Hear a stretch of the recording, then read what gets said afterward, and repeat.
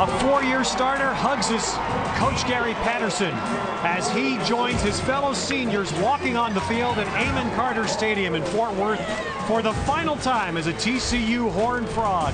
So much at stake for this program as today they face a very reborn San Diego State program in college football on Versus. TCU, two wins away from a second consecutive undefeated regular season and, of course, a Mountain West championship. But that's a title that San Diego State, remarkably, still has within its grasp. And we welcome you to College Football on Versus, along with Kelly Stouffer, Ted Robinson, Lindsey Soto will join us. What did TCU's win, the legitimacy it stamped their program with? Andy Dalton made the cover, a three-headed cover of this week's Sports Illustrated. It's big for this program. You feel it here, Kelly, how oh, excited oh, yeah. everybody is. But the one thing they still have to do is finish. Yeah, you question whether they can come back after that emotional win a week ago senior day here today, that's the intangible. Can they come out and have one more dominating performance? 26 seniors playing their a huge senior class playing their final game today. But the leader, the the name is Andy Dalton. He's done so much here at TCU. He's going to own so many records. But that's the biggest thing, Kelly. He's won. Oh, absolutely. They were good a year ago. Andy Dalton is even better than that. But a quarterback and a head coach is measured by how many games do you win. You can't get any better than Andy Dalton has been here at TCU. Well, TCU knows their hurdle today is a stern one. Brady Hoke has done an amazing job in uh, rebirthing football at San Diego State. They can always throw it, but this year they can run it. Yeah, and that's the big difference. It's about toughness that Brady Hoke wanted to instill in this team, but it's this guy right here, the true freshman in Hillman. He does a great job. He's very shifty. He's incredibly patient for a young runner, and if you miss tackles, you got to tackle this guy's legs. If you don't, he will take it to the house, and you can see what he's doing this year. 116 yards rushing per game.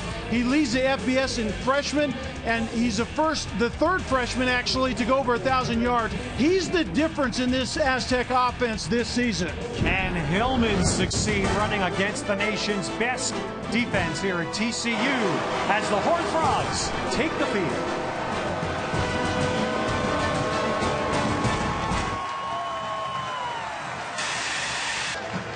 The final game as it stands at Amon Carter Stadium before a renovation. The man that's been the architect of this amazing decade of football at TCU is Gary Patterson. He's with Lindsey Soto. Coach, the last time that you'll take the field in this stadium as is, how much is that on the mind of your team? Right now, just San Diego State. Our kids understand all that there's a game. You know, we'll let everybody else enjoy this. Obviously, we're very proud of everybody that's played here, but uh, today it's about getting a win 11. Will you have Ed Wesley available? Uh, probably won't start the game, maybe play a little bit. You know, if you're going to win a championship, you got to win with everybody else. So here we go. Good luck, Coach. Yes. All right, Lindsey, Gary Patterson did show uh, his team last night a video that played off this great historic stadium and lot of the highlights of it. There's Brady Hoke in his second year at San Diego State. Best start in 15 years, matches the best start in 33 for San Diego State. And it's an astounding, as you see, yeah. winning inherited in two years. 2 and 10 team. And then order number one was to instill toughness into this program. He needs to see it on the offensive and defensive lines of scrimmage. If they can compete there today, they have an opportunity. All right, TCU is going to get the ball first. Greg McCoy and Jeremy Kerley are deep. And Kerley, one of the best in the nation, running back the kicks in the purple for TCU. Tried to get and turn the corner, pushed out near the 25 yard line as TCU today wears jerseys that harken back to the LT era. Purple jerseys with white pants. 26 TCU seniors.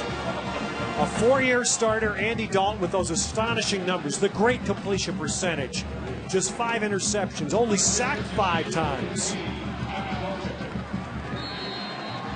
And immediately to the shotgun as TCU starts from the 26-yard line, and Ed Wesley is on the field for the first snap. Fake to Wesley. Pitch. And Kerley is swung out of bounds on a nice defensive stand by Jose Perez, the best of the defensive backs on the San Diego State team. As we look at the O-line, a huge O-line, 360-pound left tackle Marcus Cannon.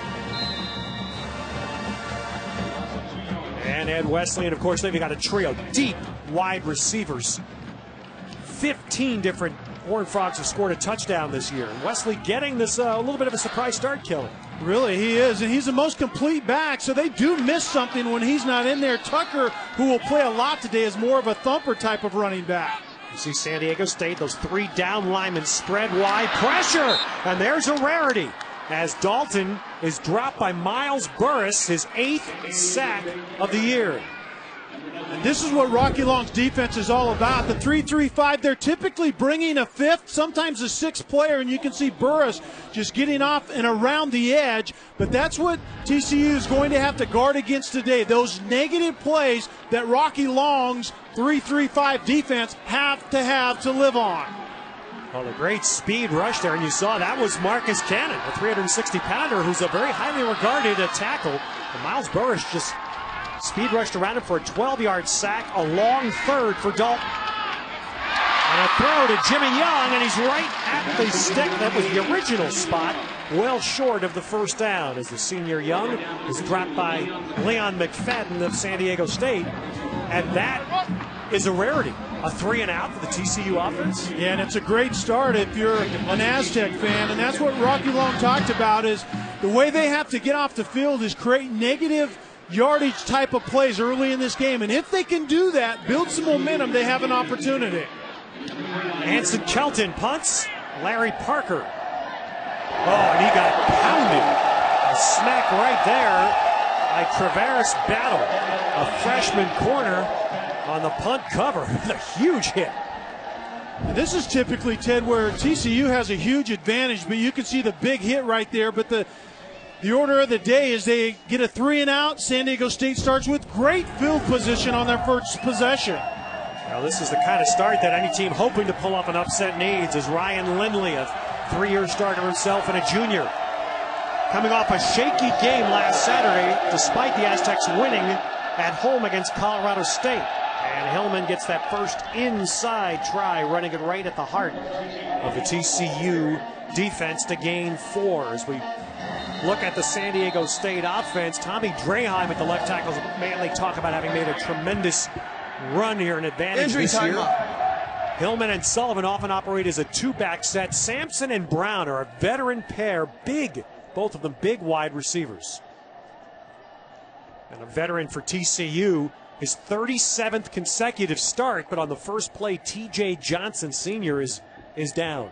Yeah, and that could be a huge development because Gary Patterson's defense is predicated on Tejay Johnson really being one of two safeties that are kind of quarterbacks on that back end. And Tejay Johnson is that guy who thinks a lot like his head coach, gives him a lot of flexibility in terms of making adjustments on the fly.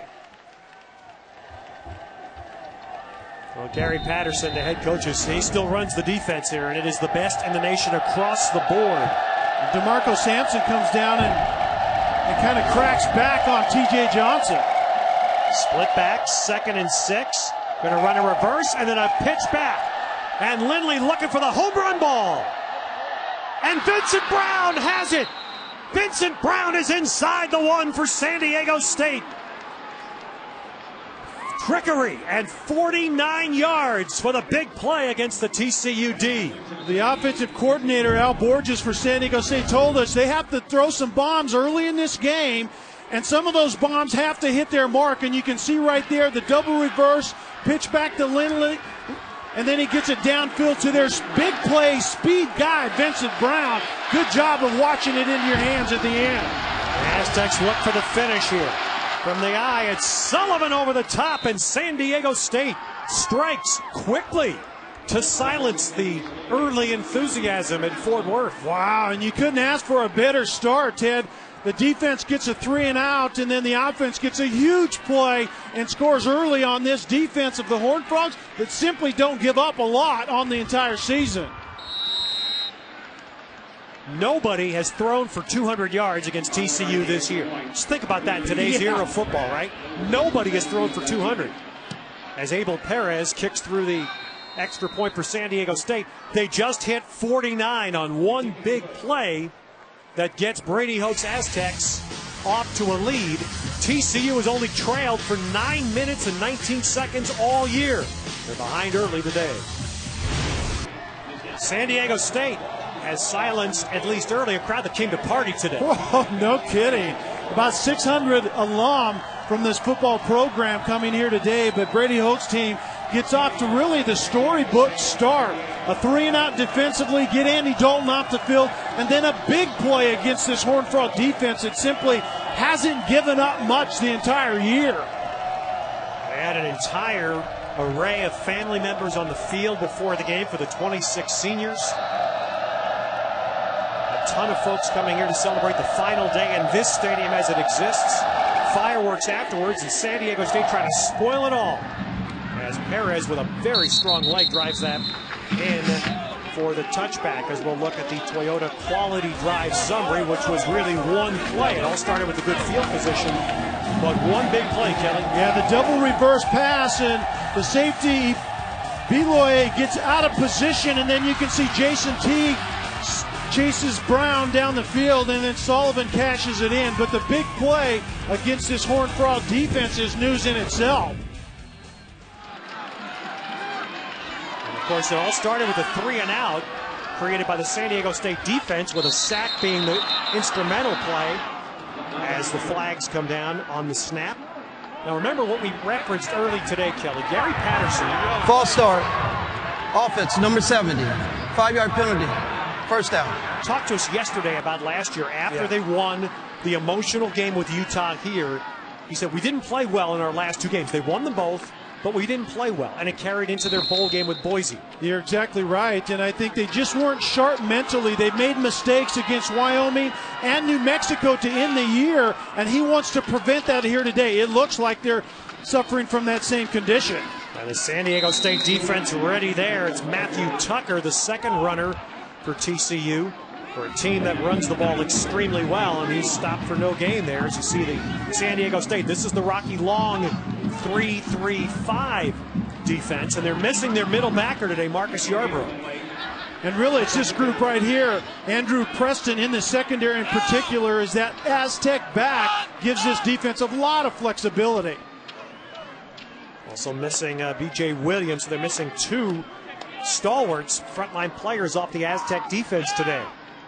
Dalton spreading the field, empty backfield. Four rush, quick throw. Boy, that went through several hands and dangerously close to a pick.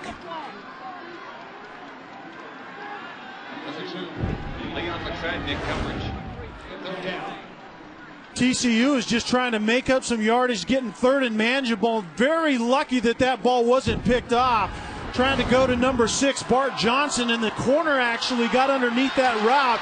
Andy Dalton looks a little shaky to begin with as well. Usually he makes great decisions.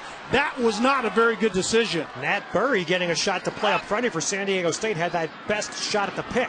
Third and 15, lobbing it up for Boyce, and that was through the hands of Jose Perez, closest man to it. And the TCU Horned Frogs start with consecutive three and outs what Rocky Long does defensively in that 3 3 5, it's very unorthodox, and it takes a while to kind of understand what it is you're seeing and make better decisions. Creates a lot of negative plays, makes offenses look really bad early. But I would think TCU at that veteran group can stick with this and try to figure out some of the get some answers against this defense. Boy, not a good punt. A little help with the bounce, going to get about a 10 extra yard bounce, but Kelton did not hit that well, and San Diego State will once again have very good field position.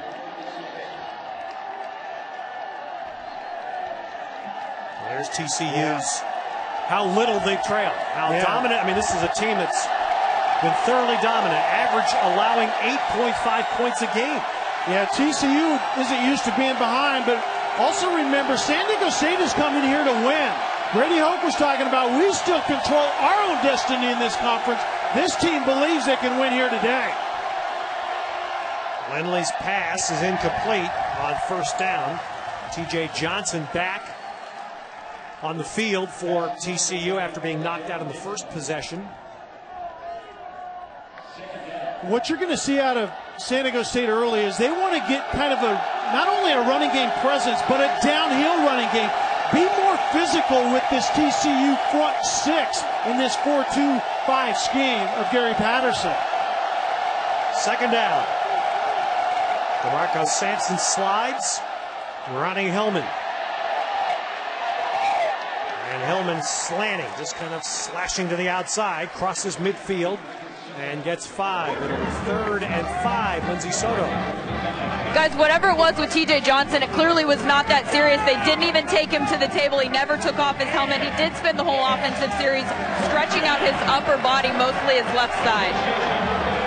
That's great news if you're a Horn Frog fan because he's the captain, the, really the quarterback on that back end that has to get a lot of guys lined up properly. Wayne Daniels lined up flanked way right. The pass rusher passes off the hands of Vincent Brown, incomplete. Same man that uh, was chasing him down in the long play, Jason Teague, on the cover. Watching the Wayne Daniels there lined up way out on the right to see if he's going to try to put some pressure on. And Teague is man to man on Brown up at the top, and that's what Lindley was going to is just trying to find the guy that's one on one. Brown simply running a slant, and that ball was just a little too hot and a little too high. Jeremy Kerley averages 13 yards a punt return for TCU. He's in the top 15 in the nation, both kick and punt run backs. Stahovich's punt and a fair catch. Kerley takes it inside the 10. So field position belonging to San Diego State the first five minutes of this game. And the Aztecs up 7 nothing in Fort Worth. College football on Versus presented by Windows 7. Brady Hoke and his Aztecs on offense on their first big play. They went right at a very experienced part of the TCU defense. What they want to do is they call it canceling the safeties. There's Alex Ebiloye right there the play action pass is designed to get him to step up and create a one on one situation behind him. Right there, you can see Vincent Brown going deep. He's now has Jason Teague in his hip pocket. Canceling the safeties is the terminology. TCU safeties are very aggressive. Get them to run support and throw the ball over the top. All right, first down from the TCU. Ball in the ground. San Diego State has it. I believe it. Well, or did they Oh, wow. It looked like the Aztecs had fallen on the ball, but no. Wow. Demetrius like, Barksdale yeah. looked like he fell right on the fumble by Waymon James. Yeah, it was hard to believe that Barksdale did not end up with it, but this is just careless ball handling. You can see right there, it's a read option, and the running back did not know that Andy Dalton was going to pull that ball out. There was a little miscommunication between James, who is the redshirt freshman, remember, Wesley hasn't been in the game much, and so the youngster was in there and a little miscommunication. Loss of two, but absolute miracle somehow that James came out with that ball and not Barksdale. Dalton throws, incomplete, intended for Jimmy Young. Young arguing that McFadden's cover was too aggressive. The ball looked like it may have sailed past Young by the time McFadden got him. It was very close, but I think McFadden did a nice job of closing and breaking on that ball, getting Young to the ground right at the very end. That ball's already by him. I think that's a good call. But right now, like a, a, good no call. What's really interesting is, yeah, good no call, exactly right. Is interesting is I think San Diego State is very comfortable with their matchups outside in the one-on-one situations, and they're actually winning those yes. matchups currently. And they're playing up close. You, you see the way they're pressing. Oh, sack! Ball on the ground again. Touchdown, San Diego State. A sack of Dalton in the end zone. Rob Andrews sacked him. Blindside. You talk about a nightmare start for the number three team in the country.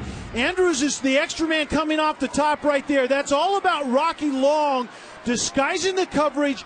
What his design is to, to bring one guy that they cannot block, and you can see obviously right there, Rob Andrews is that one guy. A Previous lot of play. blitz schemes. Further review. A lot of blitz schemes, Ted, is about creating one-on-one situations, not for Rocky Long. He wants to create a free guy that is completely unblocked, and Andrews was that guy on that play. Jerome Long, defensive lineman, recovered after Rob Andrews sacked, fumbled the ball. Now the play has been stopped from the booth for review. For what reason? Uh, we'll see if you can figure this yeah, out. Yeah, the ball is clearly no out. No clue. I don't know if it's just a matter of who possesses and the ball, but let me tell you something. What do you think right now is going through San Diego State's mind on their sideline when they see a yeah. touchdown that is being reviewed? Yeah, it's a been, very sensitive subject. Absolutely. Around the Aztecs. You know, this is a team that could easily be 9 and 0 coming into this game. They lost two games with questionable calls. One was actually a no call, a block in the back against Missouri, and the other one was actually a blatant miscall in a, a replay situation against a. Well, that's the one that really stings. Uh, against BYU. A replay situation that caused a, a change in protocol for the Mountain West Conference. We'll explain that when we After have a chance. review, the ruling on the field has been confirmed. Touchdown, San Diego No State. idea why they even felt the need to look at that, but the end result is what San Diego State deserved the touchdown and a shocking start in Fort Worth. And this is talking to Gary Patterson the last couple of days. This is exactly what he feared. The emotional win a week ago, senior day here today, the closing out of the Amon G. Carter Stadium, all of those things. How does his team respond? Not very well so far. TCU had been sacked five times all year. Two sacks early by San Diego State, and the Aztecs up 14 0. Brady Hoke, who has engineered a remarkable turnaround in just two years, looking for a signature win for his program.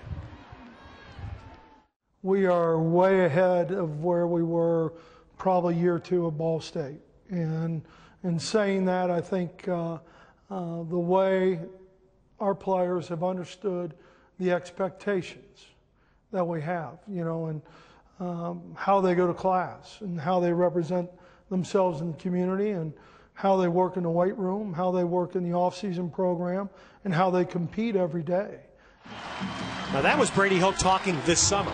Yeah. Can you imagine what he would say now? Oh, absolutely. After this seven and two, four and one, and the two losses being by six points. Yeah, highly questionable. I think one of the, the most improved teams, certainly in the Mountain West Conference. I think in all the country, but incredibly well coached. Al Borges a lot of experience handling the offense. Rocky Long, a ton of experience handling the defense. And then the toughness that their head coach brings. Perez kicks it. And Jeremy Kerley once again denied the chance to run it back. Of course, here, this game takes importance, but they're also watching one eye on the Auburn Georgia game. So's Kevin Frazier in our studio.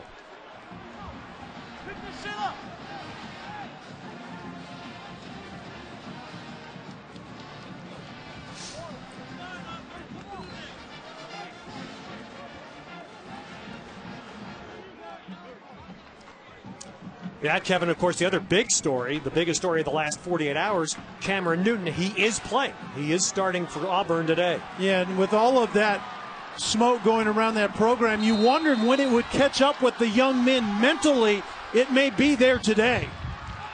Well, this is not a spot that Andy Dalton and the Horned Frogs have been in in recent years, and I say plural. As the first down pass goes to Jeremy Kerley for five yards. I mean, when you only give up eight and a half a game, that's obvious. And uh, their well, one loss last year was in the bowl game to Boise by a touchdown in the fourth quarter. And remember the 26 seniors that TCU has, so they have a ton of experience, and it's going to take experience right now to dig TCU out of this hole. Wesley back on the field. They fake to him, go to Kerley again. Two passes to Kerley. And one thing, Kelly, I wanted to get to you about is how San Diego State defense is, because last week you saw TCU just chew up Utah with the very play they've run twice here. And, and can San Diego State stop that? Can they yeah, we've, we've actually seen it a little bit already. San Diego State is pressing the line of scrimmage to try to take away that type of stuff, the screen game, the quick passing game. TCU wants to get the ball to Jeremy Kerley, 85. He's their touch guy. You have to get him going early in this game. Two of those getting a first down. Now they run it Tucker middle, and that's out to the 37 yard line with a flag down. But Tucker, remember, you'd almost say he's the plow horse back. He only averages four and a half a game for TCU. Marvell July is our referee. Illegal motion on the offense, number 48. Five yards from the previous spot. First down. Of course, they have three running backs plus the quarterback Dalton that all average over six yards a carry. And Luke Shivers was the fullback in that time. He's kind of a hybrid fullback, tight end type of guy that brings a more physical presence in that run game. But once again, you can see the pre snap penalties and the errors that you don't see a lot of times out of TCU. You're seeing them here today early in this game. Skye Dawson, a track star, sprints late onto the field there. He's in the slot right. Dalton changing, and now Dalton calling timeout. And again, that's unusual to see TCU in some sense of disarray, and Dalton forced to take a timeout. TCU. Gary Patterson's reaction.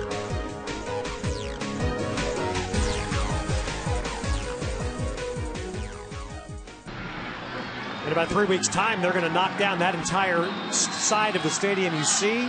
By next season, they'll have rebuilt most of a new side, part of the incredible growth of TCU football. But right now, their dreams for 2010 are going to face an uphill climb on this Saturday.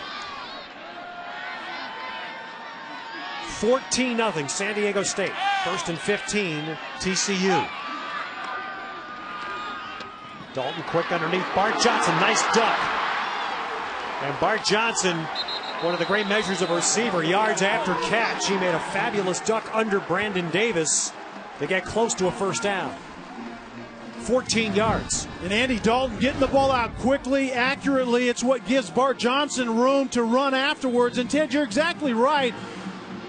San Diego State is going to take some chances defensively, and there's big plays there waiting to happen if TCU can take advantage of it. 32nd there you see now for Bart Johnson, 32 in a row as the handoff goes to Tucker. And Tucker finds his way to the 45 yard line and a TCU first down before Andrew Preston makes the tackle. With TCU's offense and Andy Dalton in his fourth year of starting, they're going up tempo right now to try to make the Aztecs identify their look just a little bit quicker. James is the running back, four receivers, two each side. Saw Dalton do this very well in Utah last week. A lot of audibles, a lot of changes at the line.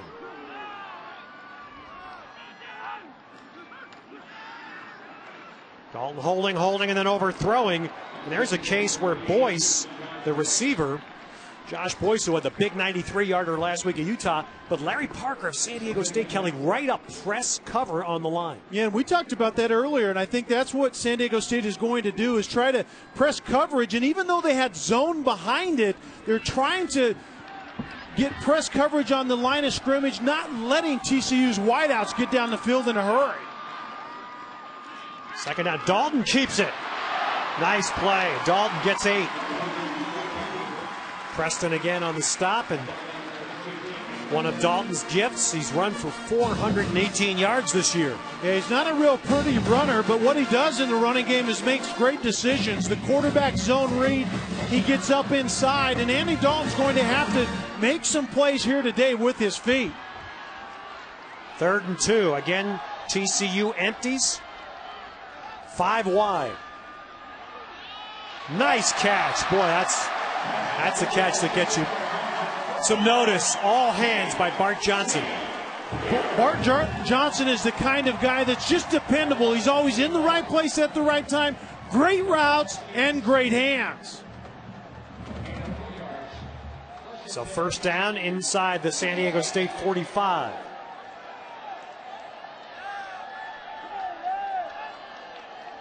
Well, Dalton looked like he took that a little bit on the run and got it out quickly, but San Diego State defenses nicely there. Khalid Stevens dropping Waymon James.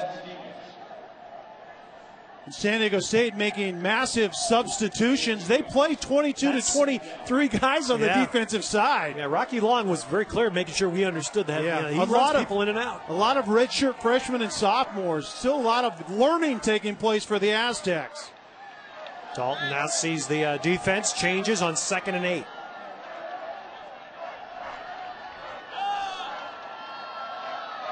They're getting right up on Boyce again at the bottom, underneath Johnson.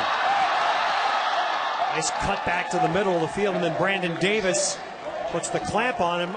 A good tackle by Davis to stop uh, Johnson a yard short of the first. Gain of seven. And this is what TC likes to do. TCU is when you get press coverage outside, they really try to exploit the inside with Bart Johnson. We've already seen a couple of catches, but also look for Jeremy Kerley to play a bigger role here today in this game. Right here and right here. So third and one. James dropped in the backfield. Burris, who had a huge sack in the first drive, now going to force TCU into a fourth down. Loss of three. One thing the Aztec defense does is they get penetration. You can see Burris really is just unblocked. Not a very good job of regulating or managing the line of scrimmage in the run game by Andy Dalton on that play. So fourth and four, TCU goes. Spread the field again. This is Bart Johnson right here. This is the matchup they've liked so far. Dalton gets it off. Outside. Kerley sets down the sideline. Touchdown. 38 yards as Kerley did a magnificent job of staying inbounds and tight roping the sideline. I think there are a lot of Horned Frog fans right now taking a deep breath. That looks like more of what they expected to see here today. It's uncanny when TCU needs a play. Kerley is their guy. He's done that over and over this year. 20th touchdown pass for Dalton, the eighth to Kerley. Ross Evans point. Well, that drive started with two consecutive first down passes. As you said, Kelly, they said, get the ball to Kerley. Yeah, and he's the middle guy at the top right there. He goes outside. Both inside guys running outside routes. Kerley is the guy that you build touches for because not only does he run good routes, but he's a playmaker once he has the ball in his hands. And how impressive. Not easy to tackle. He's listed at 5'10. He sure plays bigger than that. Yeah, and he's he's their target guy, the change of direction, but he's an inside receiver, so he either is on linebackers or on safeties, and that's a mismatch no matter who's covering him.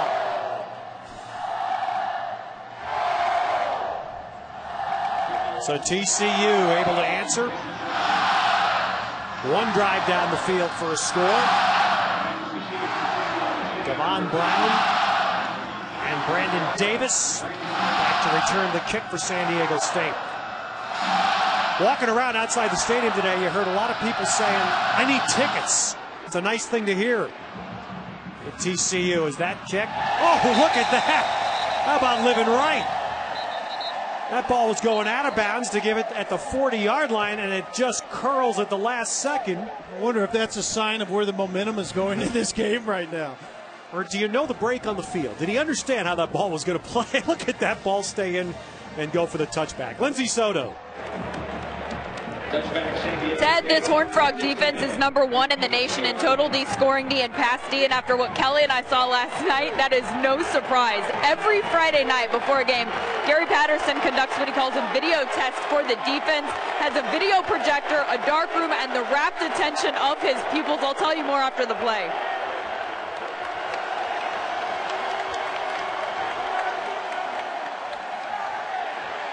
Lindley too high for tight end Bryce Quigley, incomplete. Lindsay? So what he does, he flashes a frozen SDSU play formation on the screen and listens as the whole room calls out the defense. They uh, go through gap assignments, route recognitions, tendencies. If they speak softly, they have to start over because that means they're not confident. I feel like I know football fairly well, and I was completely lost. This is a seriously complicated defense, and Gary Patterson is a savant. It is crazy how fast his mind works, guys. Lindley now seeing a threatened blitz, pops up on second and 10. Sullivan wrapped up and stopped. Almost no gain. DJ Yendry leading the way inside along with Ross Forrest. Now, last week, Corey Grant plays tackle for TCU, and he said, We were calling out their plays, the Utah plays. We knew what they were going to run. He said, That was cool. I've never had that kind of coaching in my life. Incredibly well prepared TCU's defense is coached very much like an NFL defense. It's about formations, recognition. What does the team run from this formation? Very well coached. Not a lot of mistakes made by this defense. Third down from the gun. And Lindley's pass incomplete. A lot of purple shirts surrounding DeMarco Sampson. And San Diego State, three and out.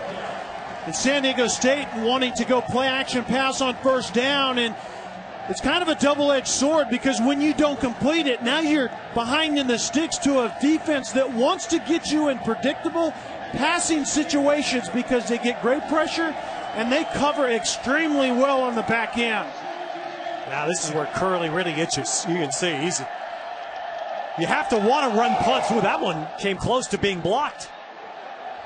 And Kerley got that look in his eye. He wants a shot here. He's got a shot. The punter saves six. 45 yard run back by Kerley. Flag down, but the flag is down near the end of the run back. And it was late enough to I think it's after the play anyway. But once again, when TCU wants or needs a play, give it to 85. Throw it to him, hand it to him, or let him catch a punt. You saw that too, Kelly. When you, you, you running back punts is a desire thing, right? Isn't oh, it? absolutely. And you could see that in Kerley's eyes. After the play, personal foul, receiving team, number 18, 15 yards, first down. A little exuberance from Travaris Battle, I assume. We didn't see it, but. But yeah, I mean, you could tell the way Kerley's body language. I want to make a play here. Yeah, and when you have a guy that wants to make a play, you, what you get is better blocking from the other 10 guys on the field.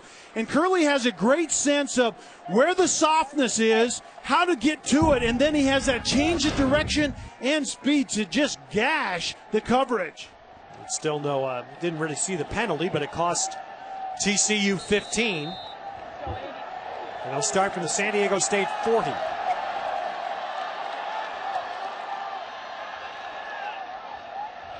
So Waymon, or excuse me, that's Ed Wesley. So Yeah. Ed Wesley playing a little more than we would have envisioned, but stopped up there. Ernie Lawson for San Diego State. And we talked about Ed Wesley's right ankle is certainly a question mark. We can see him come out of the game now, but he's their dependable guy. He's their probably their best all-around guy, but dependable in terms of hanging onto the ball, running to the softness, and they're going to miss him if he he's limited today, which it appears that he is.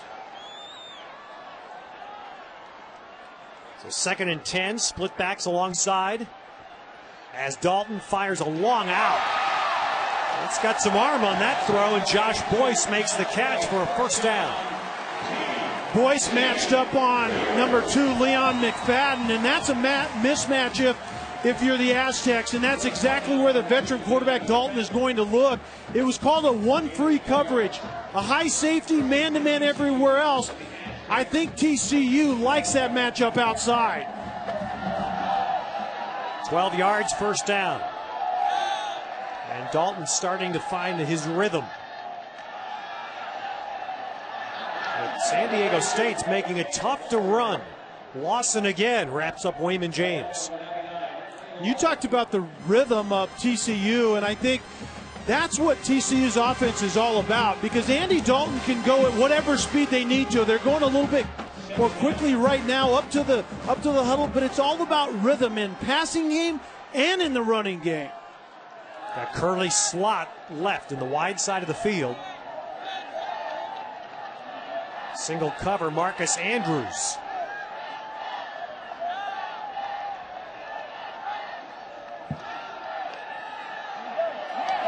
Oh, and bullet right there and a drop by Jimmy Young.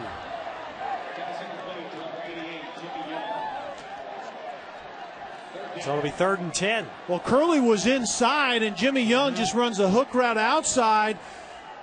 Jimmy Young just needs to catch this football. Kerley's just going to come outside, and you're going to get Young running the route right there against the two shell coverage. You have a high safety, actually, two high safeties.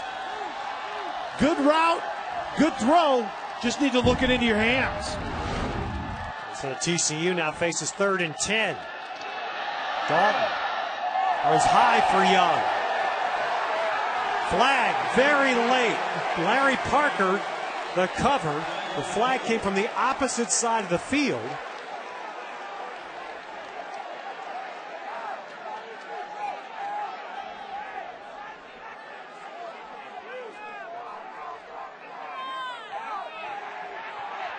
Pass interference. Defense. Wow. Between. Spot foul. Automatic first down. Well, Brady Hoke doesn't like the fact that it was called late and called from the official on the opposite side of the field. Wow, I don't I know would, about uh, that. I would uh, I would understand Brady Hoke's reaction. I think pretty decent coverage by Larry Parker on Jimmy Young, and when the Yes. official on the opposite side has to throw the hanky, I don't know about that. First down. So the Horned Frog drive stays alive at the San Diego State 15. Blitz coming. It's picked up. Fade route. Touchdown. Beautifully thrown ball to Logan Brock.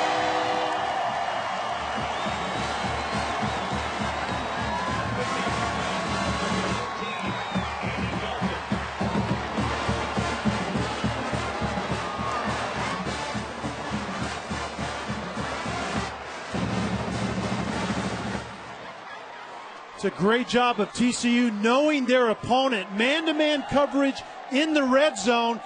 Get the tight end Logan Brock, their best route running from that position, one on one with the linebacker. Good things are going to happen. Oh, and the extra point is no good. Ross Evans bangs it off the upright. His miss keeps San Diego State in front by a point.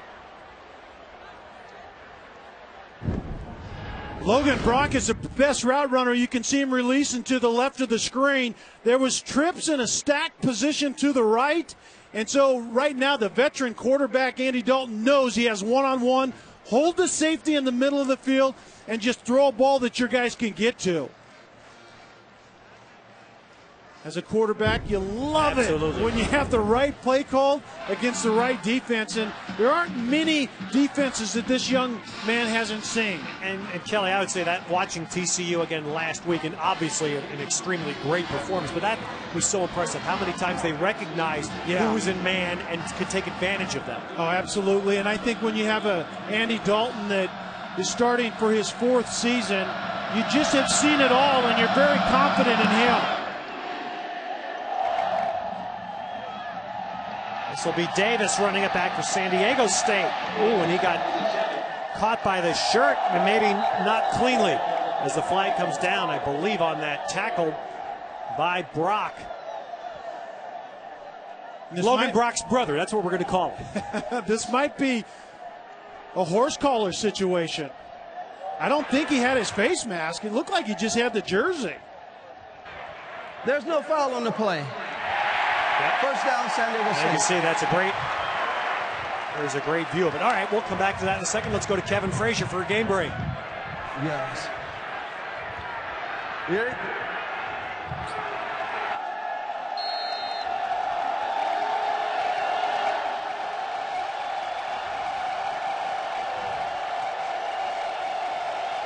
All right, Kevin, here it is 14 13. And San Diego State needing some offense now. Ronnie Hillman wrapped up and dropped by Alex Abiloye. Not a uh, not a good day for Utah. Rebounding from its uh, drubbing at home by the Horned Frogs last week. Utah is getting pounded today at Notre Dame, 28 to three. Very surprising. We had Utah, favored. Yeah, and we had them early in the year, and I, I really believe they're the real deal, but absolutely a hangover from the beating they took a week ago. Well, San Diego State Into the stunned the TCU crowd today. A big offensive play on a pass to Vincent Brown. A defensive score. But TCU rebounded as Dalton finds his man, Jeremy Kerley. And then a nearly tying touchdown to Logan Brock. Can Cal, which uh, is playing a fairly new quarterback, can they challenge? They are a very good home team. It'll be a great game to watch. Following this San Diego State TCU showdown as that play does not get off cleanly for the Aztecs. False start. Offense, number 85. Five yard penalty. Remains first down. Tight end DJ Shields of San Diego State.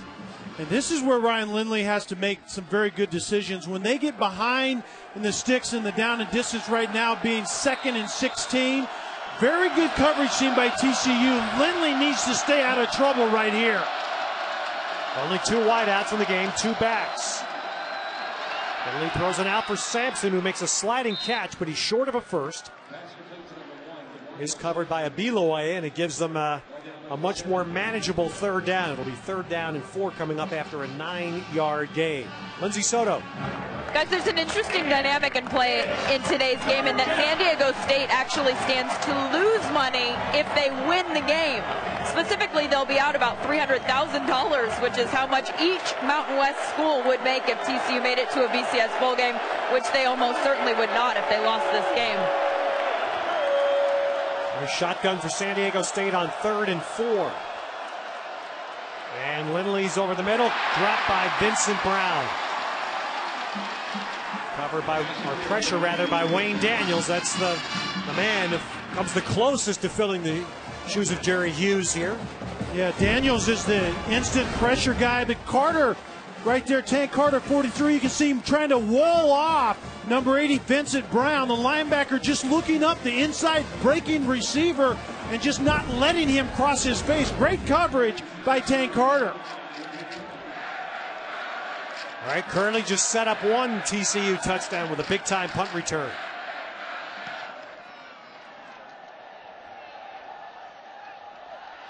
This time the Aztecs cover well. Nice job on the San Diego State punt cover team to drop Kerley after a very short run back. All right, a battle of the running backs, our Pizza Hut favorite matchup. Yeah, and Ed Wesley, we've talked about being banged up, but TCU wants to run the football, and and with Ronnie Hillman, San Diego State has to run the football in order to move it against this TCU defense here today. Has gotten off to a slow start thus far. TCU two straight drives down for touchdowns. The second one a short field again after the big punt return. Now they go back to the ground with James. James more of that squat power runner, 5'8", 203. Rob Andrews on the tackle for San Diego State. The running backs here are young on a senior laden team. Yeah. The running backs are young. James is a second year player in the program. Wesley and Tucker, both sophomores. And James does have some of that explosiveness that Wesley has. Tucker's more of the softener guy. He comes in and just pounds the opposition. Option pitch, and Tucker got some field to run. And Tucker's driven out of bounds by Preston of San Diego State, but not before he crosses midfield. TCU likes this play, kind of the just the quick option, getting to the perimeter, optioning off the first force guy that Andy Dalton sees and pitching it to Matthew Tucker is just one of their staples, and Andy Dalton makes very good decisions in the TCU run game. All right, we got a San Diego State defender move, and then the TCU lineman responds. See how they interpret this.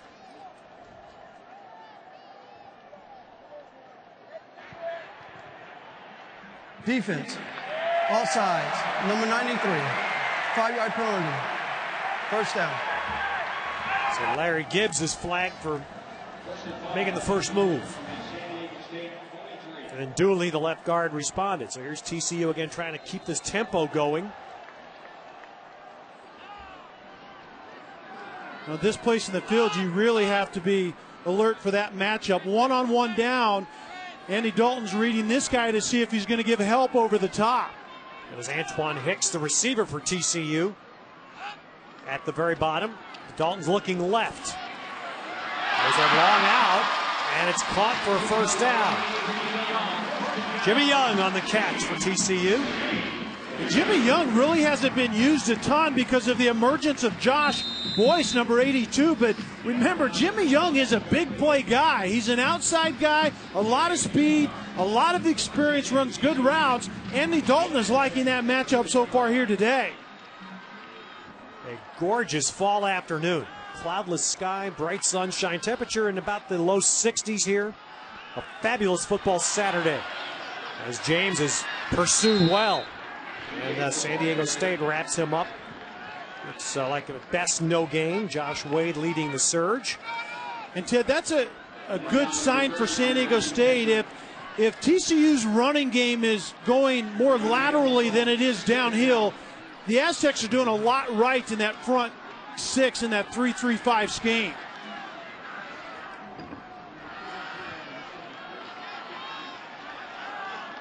Three three receivers right, wide side of the field for Dalton. But he checks underneath. And a good tackle again in the open field there to prevent more yards after the catch. That's Nick Tenoff. Stopping James after the catch, just a four year gain. Very good protection and a very good decision by Andy Dalton, which you would expect with his experience. Soft coverage on the back end by the Aztecs. Dump it down here, check down back and let him get as much as he can. So third and six here. James vacates. Ooh, Dalton made a great catch. Not there though, and they're going to rule that an incomplete forward pass. All right, so that was a forward pass in the ruling of the officials, not a lateral. And thus it was not a live ball. What San Diego State's coaching staff told us as we talked to him this week is that right now TCU just doesn't give you many opportunities. They don't make many errors. They're opening up the door here today. You can see the bad snap low and to the right. Andy Dalton does a great job, but then he makes a bad pitch. Fortunate it was forward. So the ball was not live. Here's Evans, the kicker, 47 yards, and he missed. So a missed extra point, and now a missed 47 yard field goal, and San Diego State still leads by one.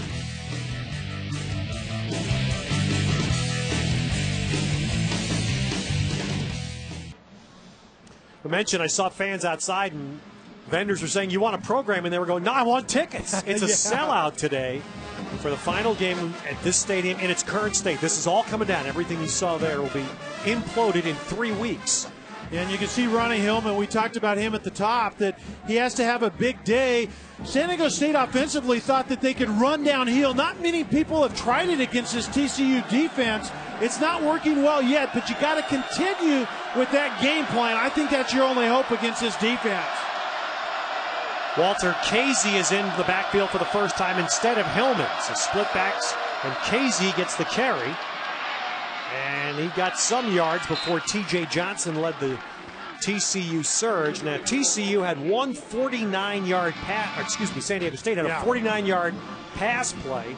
Other than that one play, they have less than 30 yeah. yards of offense. Not a whole lot going on. And San Diego State talked about needing to get off to a fast start offensively. They've been a slow starting team this year. Well, that was a fast start, but they haven't followed it up with a whole lot. Did get six yards, though, on Kazee's first down run. Screen set up, and Lindley just dumps it in the ground. That was going to be a tight end screen to the Gavin Escobar, the redshirt freshman, and that's what TCU's defense does so incredibly well, Ted. They read and they diagnose things. They recognize things via the formation and the personnel. They're extremely well coached. Tank Carter was putting some pressure on for TCU. It's now third and four. Yeah, still third and very manageable for Ryan Lindley and this offense. It's an offense that needs a first down. And a three-man bunch on the left side. No. Yes on the Karam and no on the first down. Pass Karam right into the hands of Alec Johnson, the left guard. That's a completed pass to the guard, Johnson. But Ibiloe made sure that Johnson was going down to the ground short of a first down. Just trying to get first down yardage. DeMarco Sampson sitting down inside and a good job by Ibiloe sniffing out that route. And once again, what's the down and distance? What's the formation? The offense is trying to pick up a first down, and Ibiloe breaks very well on that route. The only first down for San Diego State so far in this game, the only first down was the 49 yard double reverse pass to Vincent Brown. Shorter punt. Kerley's going to run up and fair catch it at the TCU 37 yard line. Down to the sidelines and Lindsay. Guys, San Diego State senior cornerback Jose Perez is out of the game on crutches with a huge brace on his right knee. It is a sprain. I am told he will not be back. Well, that's a, yeah. a huge development because Perez is by far their most consistent cover guy. And remember, the Aztecs really don't match up extremely well outside against TCU's offense. So Dalton back to work. He's 11 of 17 so far for 128 and two touchdowns. Tucker. And got dragged down by Miles Burris, but not before Tucker ran it for seven yards. And last week, TCU, in the first half of their game, Kelly, you talk about first downs, how important they are. They averaged eight yards of first down play, even without the 93 yard yeah. touchdown pass to Boyce that was a first down. Yeah, that's extremely, extremely easy offensively. If you're being that successful on first down, the rest of it's just downhill. Second and three is Tucker.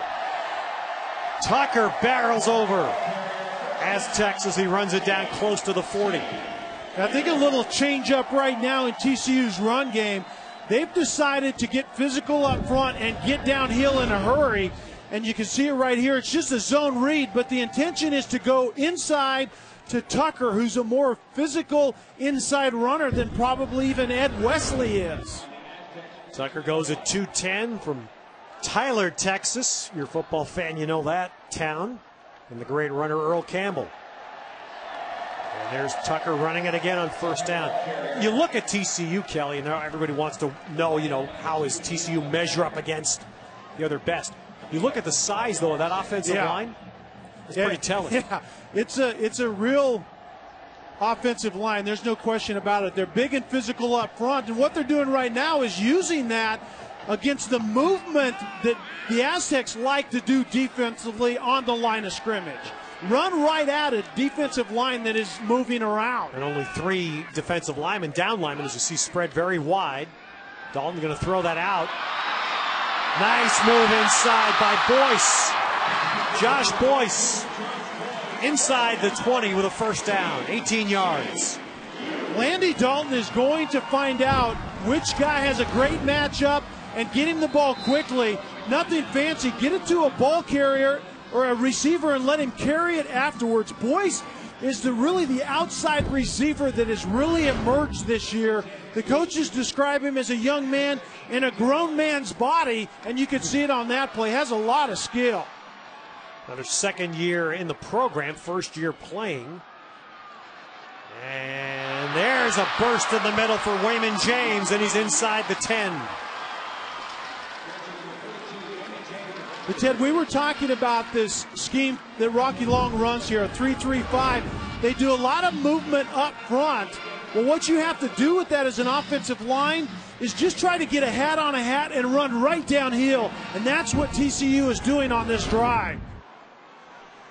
Second down. They can get a first with a yard. Shotgun. Waymon James, the runner. James going outside. Stiff arms his way in.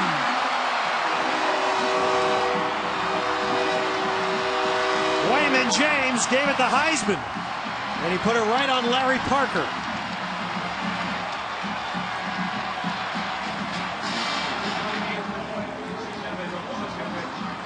Waymon James at 5'8", over 200 pounds. He's like a bowling ball. He is explosive. He does have a burst, and you could see it on that play, getting through the line of scrimmage and bouncing to the left, and had a great stiff arm to get in the end zone. A kick here. Evans has missed now five extra points this year, but that one perfect, and TCU has come back from 14 down. The zone running play up front, and James does a good job. Softness inside, pay dirt outside. Great job running the football.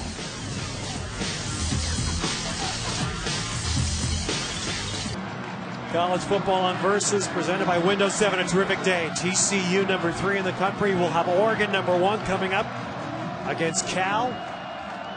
3D as well from Berkeley tonight. San Diego State now with Brandon Davis back to the 21 yard line. 16 yard return. If you look at our Toyota quality drive summary. I think TCU got back to kind of their identity. The quick passing game. Josh Boyce makes a miss and gets upfield yards after the catch, and then James takes it up inside, bounces it outside. Remember, Ed Wesley is nicked up, and so they have to get something out of Tucker and James here today. Quick play, six, a quick drive rather, just six plays. San Diego State, Ronnie Hillman out for five. Well, San Diego State came out here today and they kind of punched TCU right in the face in the first five minutes. And you know what? First time TCU's been punched this year. You're exactly and, right. And they've they kind of got over that. They fought their way right back. I think 26 seniors, one of which is Andy Dalton. You can't get more experience at the quarterback position. I think they've responded very well. San Diego State needs to get something going offensively right here. Ronnie Hillman has not been able to get much going, and there he runs into Brock and Tejay Johnson. So Hillman has had five carries and not much yardage, 17 yards total. San Diego State still with one first down. And this is more of what Al Borges, the offensive coordinator for San Diego State, told us. Downhill running game.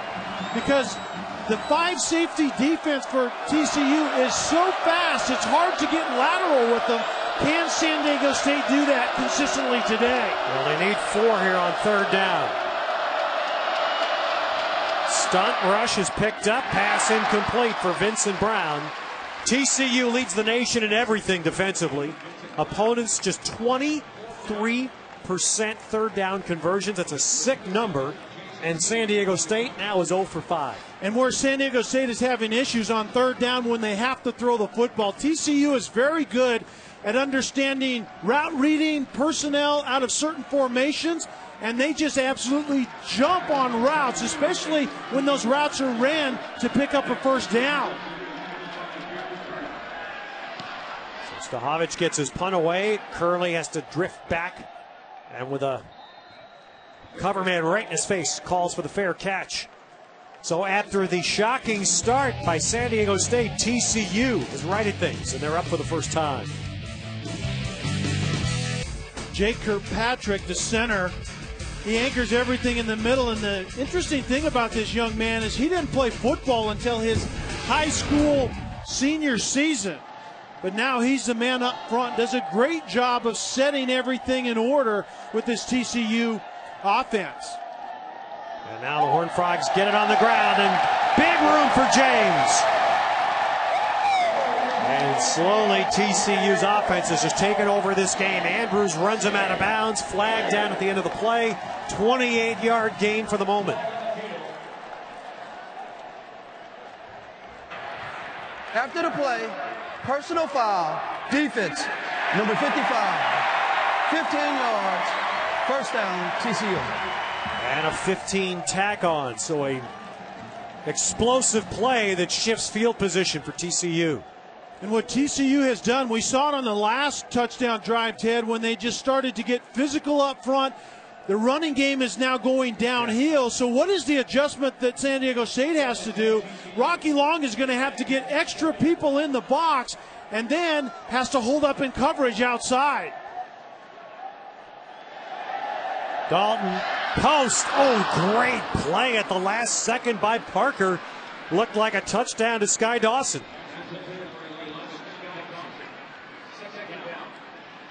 Well, this is exactly what we were just talking about. The one on one upside, Parker running the skinny post, or Skye uh, Dawson running the skinny post on Parker does a nice job right at the very end and getting a hand on that football. But once again, Andy Dalton finding the man to man coverage outside as San Diego State has to get more people down in the box to stop that running game. Run out of a more traditional set there, and they get that straight ahead yardage again. Kelly, as you're talking about it, that offensive line is starting to establish itself. Tucker is the beneficiary. Nat Berhe finally on the tackle for San Diego State. And the running game is getting physical. There's Kirkpatrick inside. He really sets the tone up front, getting physical, blocking back. Number 78, Josh Vernon, pulling around and getting up in the hole. And isn't that what you're talking about? There's more San Diego or TCU's outnumbering them inside, Absolutely. right? There's just more purple shirts than white shirts. Yeah, Vernon, the guard, pulls around and gets it one more guy at the point of attack. Waymon James outside. Now here you're starting to see why this TCU offense, for all the talk about their defense and how great it has Yeah. been, this offense has so many different ways to attack you. Yeah, this offense, and that's the key right there, Ted, is they're so balanced. They can run the ball, they can pass the ball, and then you have the most experienced quarterback that you can get making typically very, very good decisions in both phases of the game. TCU has had over 500 yards in offense the last three weeks and five times in 10 games. They're at 242 already today. And counting on the pass to Jimmy Young. That'll be inside the 10, short of a first. And basically, what Andy Dalton is doing at the line of scrimmage, he has the leeway to basically run or pass based on how many defenders are in the box. If we're outnumbered in the box with six or more, we just throw it outside because we're better in coverage, just like he did on that play to Jimmy Young. Dalton now 13 of 20 today. 65%. That's just a shade underneath the season percentage. Tucker, nice cutback, but then San Diego State finishes. Tackle there by Barksdale. And no gain. So it'll be third and three coming up for TCU. Final three minutes of the half.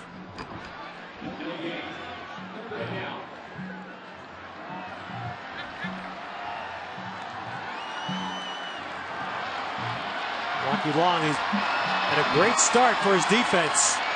Helped them jump out to a 14 point lead, but they're on their heels right now. Running back Tucker. Dalton throws. Touchdown, Kerley.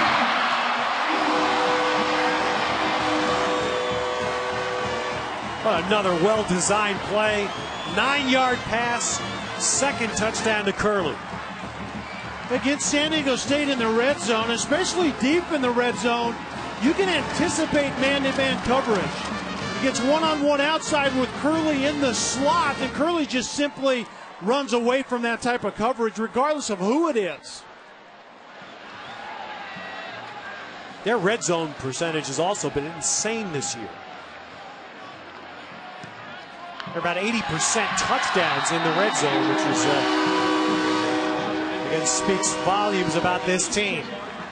And after being down 14 0 in the first five minutes of the game, TCU has answered with four touchdowns with 258 yards of offense. And Andy Dalton can see the man to man coverage right here. Jeremy Kerley's inside. This receiver is just going to simply clear out and give the floor to Kerley inside. Throw it on time, throw an accurate pass. The result is a touchdown. Dalton to Kerley. It really can't get much easier than that as a as an experienced Andy Dalton. If you can see the coverage that quickly, you know exactly where you're going. You can throw the ball in rhythm on time to a guy who you know in Kerley that can make plays. Well, they came here today, we said, to celebrate so many things, but most important thing, you got a feeling it was almost kind of an after party. Yeah. For those who didn't go to Salt Lake City last week and the incredible win by TCU. And, and Gary Patterson was very, very cautious about that because of all of the emotion Yeah. going into senior day, the thing about the stadium here today, and the emotional win last week. How was my team going to play? They didn't start well, but they're playing well now. This will be Brandon Davis on the run back for San Diego State. Covered well by TCU. Stopped just about the 25 yard line with two minutes and change to play in the first half here in Fort Worth, Texas. Teo's backed it up this year. To give him that. Having a great year in Cincinnati. First down, San Diego State. Lindley sack. And that's only the sixth sack that Lindley has had this year. Corey Grant.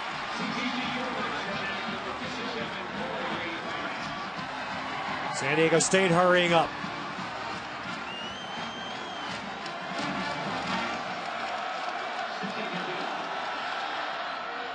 Lindley throws the out. The pitch to Sampson is pushed out at the uh, 28. It's going to leave third and seven. Gain of nine there. And you can see again, San Diego State one first down today. This is San Diego State team that threw for 3,000 yards last year, and Lindley's got a shot to throw for 3,000 again this year. And TCU just simply does not give you a lot of room. They kind of funnel you to third down, and then they're so good at yep. diagnosing what your intention is on third down, they snuff out the play. And San Diego State 0 for 5 on thirds, and their thirds have been manageable, like this one. Lindley cranks up, and a pass incomplete again on the cover there was Tank Carter. Those two linebackers, Carter and Brock, can cover, can't Unbelievable, absolutely. Two high safeties and then the coverage underneath. Once again, the route recognition. Carter doing a great job of understanding that Sampson was going to try to cross his face and get, simply gets a hand on the ball. And Kerley this time is down at the 40 yard line, but TCU has a minute 19 and two timeouts. So they've got time if they choose to want to go for another score. San Diego State, 27 yards in their last seven possessions. Two touchdown catches already for Jeremy Kerley and a big punt return. A 45 yarder that set up a TCU score. Empty backfield for Dalton.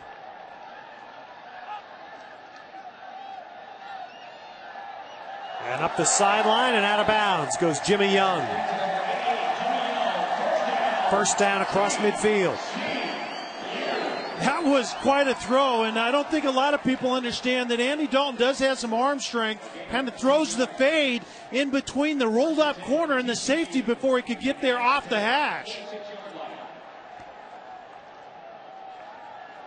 Stays in the same setup. That's the one that shows you throwing from the left hash all the way across to the right sideline. It was not accurate, went off Kerley's hand. The other thing that just shocks you, Kelly, when you watch, I mean, how many snaps under center has Dalton taken this year? Right? Red zone, probably yeah. goal line snaps yeah, about it. Absolutely. I think that's probably the only time. And you're absolutely right. There are a lot of quarterbacks playing the game at a high level, like Andy Dalton, that don't get under the center hardly at all. Still a minute six. Plenty of time here for TCU. Waymon James in on Dalton's left. Stays in the block. Kerley, ooh, and a nice play there because Kerley had a chance to go. If that tackle was not finished, and it was Nat Berhe again, timeout here by TCU. So they got one left. Yeah, good use of the timeout. And Kerley had some running room if he could have kept his feet that time, but what San Diego State is trying to do is give help over the top. All of their coverages typically come out of what's called a two shell, two high safeties. Sometimes they stay high, or sometimes they go into man to man. And Rocky Long likes a lot of man to man coverage. They pressure out of that.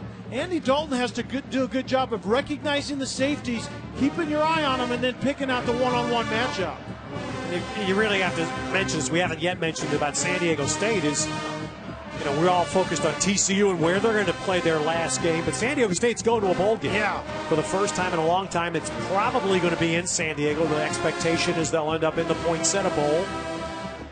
Yeah, and Brady for Brady Hoke to do that in two years after inheriting a 10-loss team. Yeah, and he talked about it's great we're going to a bowl game, but we're here to win the conference. Mm-hmm. So let's not jump ahead. Well, that's that's the goal, which TCU could put an end to today. Post Johnson. All the way down near the 10 yard line goes Bart Johnson. 29 yards. TCU once again going inside. Bart Johnson really running by a linebacker right there. Ketchum trying to get his hands on him, but zone coverage, the inside receiver gets to the void in the middle of that zone, and Andy Dalton finds Bart Johnson. That guy's, you can see he's a money guy. Four catches in the first half for Bart Johnson. In the flat, Kerley down to the four. TCU is going to use its last timeout. Darren Lewis on the stop. Timeout. TCU, their second charge timeout this half.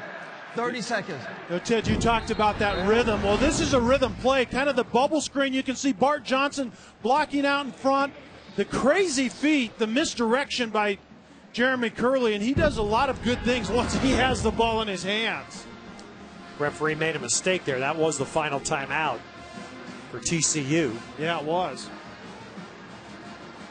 And good use of it. Remember what happened last time TCU was down deep in the red zone. They get man to man coverage from the San Diego State defense. Andy Dalton is not opposed to throwing the ball down here on the plus Correction. five, four yard line. TCU is out of timeouts for the whole second half. Yeah, the official heard you there, Ted. All right, so Gary Patterson, uh, who is a, as you've seen multiple times this year, Kelly, and we learned that talking yesterday. You know, he is hands-on defense, and they've got an offense that's in pretty good hands.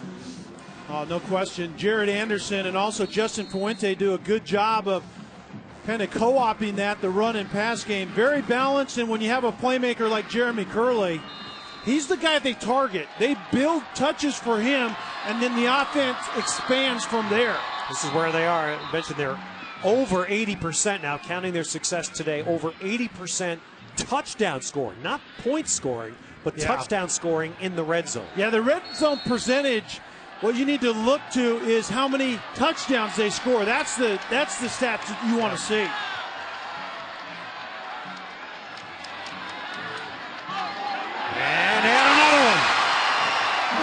Look easy, don't they? Three times to Kerley in the first half.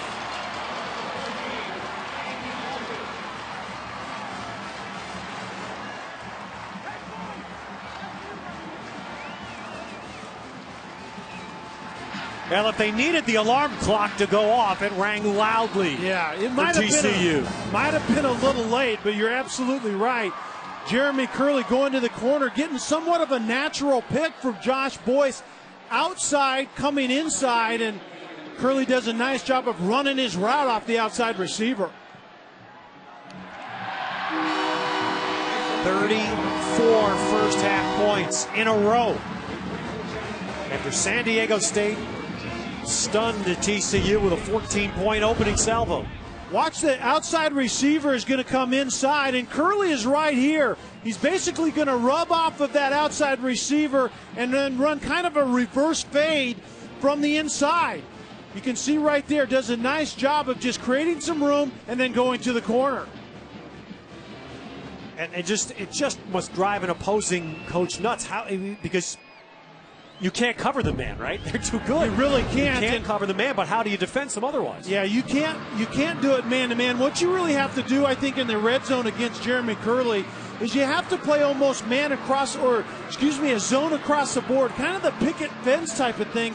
And you have to understand that their go-to guy is in the slot. He's not an outside guy, he's in the slot. And that's very, very difficult for a defense to do. So 24 seconds left in the half. Kevin Sharples, he's the kickoff specialist for TCU.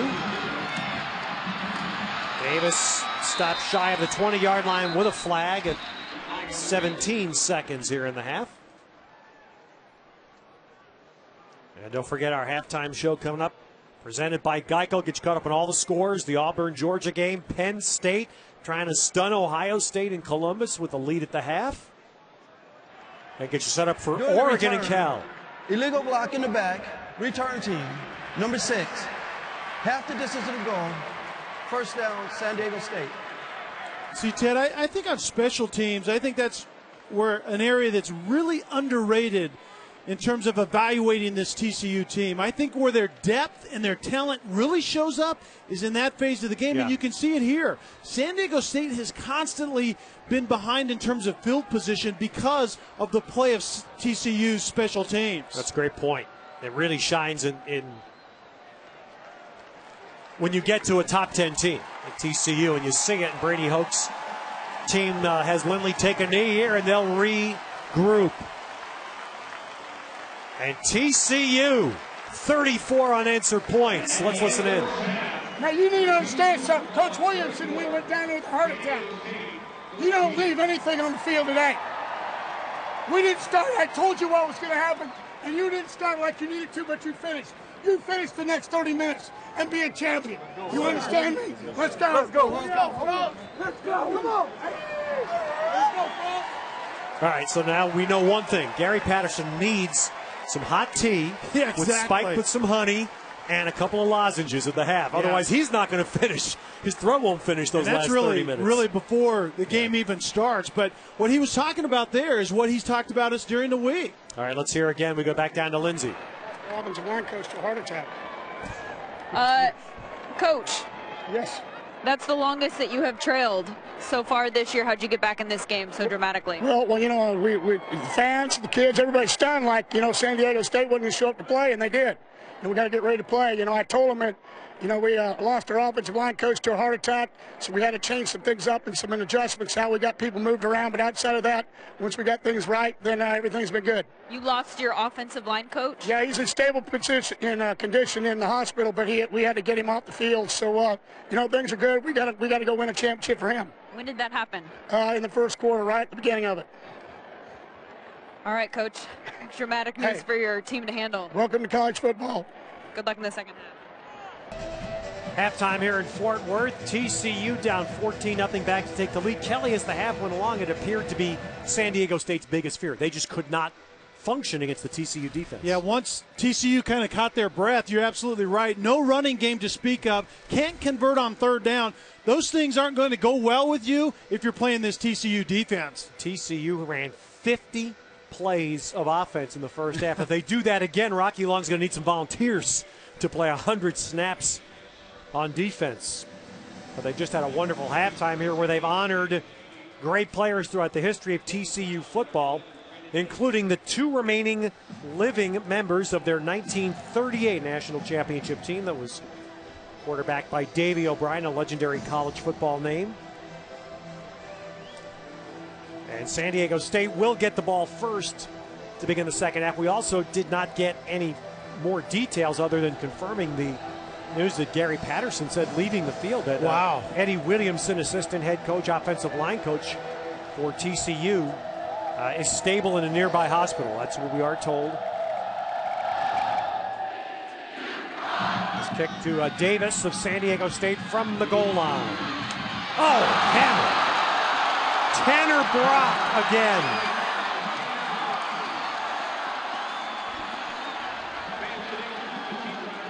And Davis hasn't gotten up.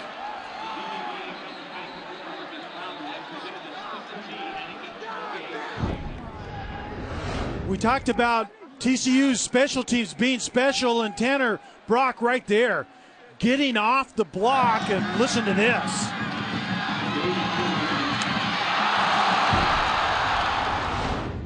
You know, that's a, I think one of the worst fears for a kick returner is when you're running full speed and a guy that you don't see initially all of a sudden shows up from behind the block and he's right in your face before you can do anything about it. and everything now quiets. A scene that, unfortunately, we've seen too often in recent weeks around football.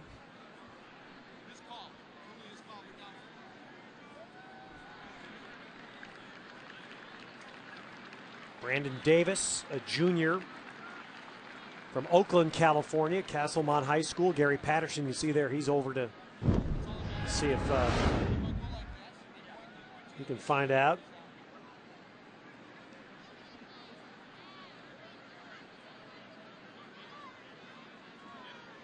Again, it looked like there was a little contact underneath the face mask there that Yeah, they're targeting that helmet to helmet contact, and I don't Yeah. know if that qualifies right there or not. But some of the most violent collisions you see in this game, uh, a game that's all based on violent collisions, happens on the kickoff. Well, that's exactly right. That's, would you say from your experience playing, the most treacherous part of the game? No question about it. You have guys running full speed, getting off blocks, and then appearing before your eyes, and returners that are running headlong right into them. So, the good news, the thing you always look for in these uh, sobering moments is what you're seeing limb movement from Brandon Davis, and now sitting up. And that's what gets everybody here collectively to exhale and applaud. And Davis walks off.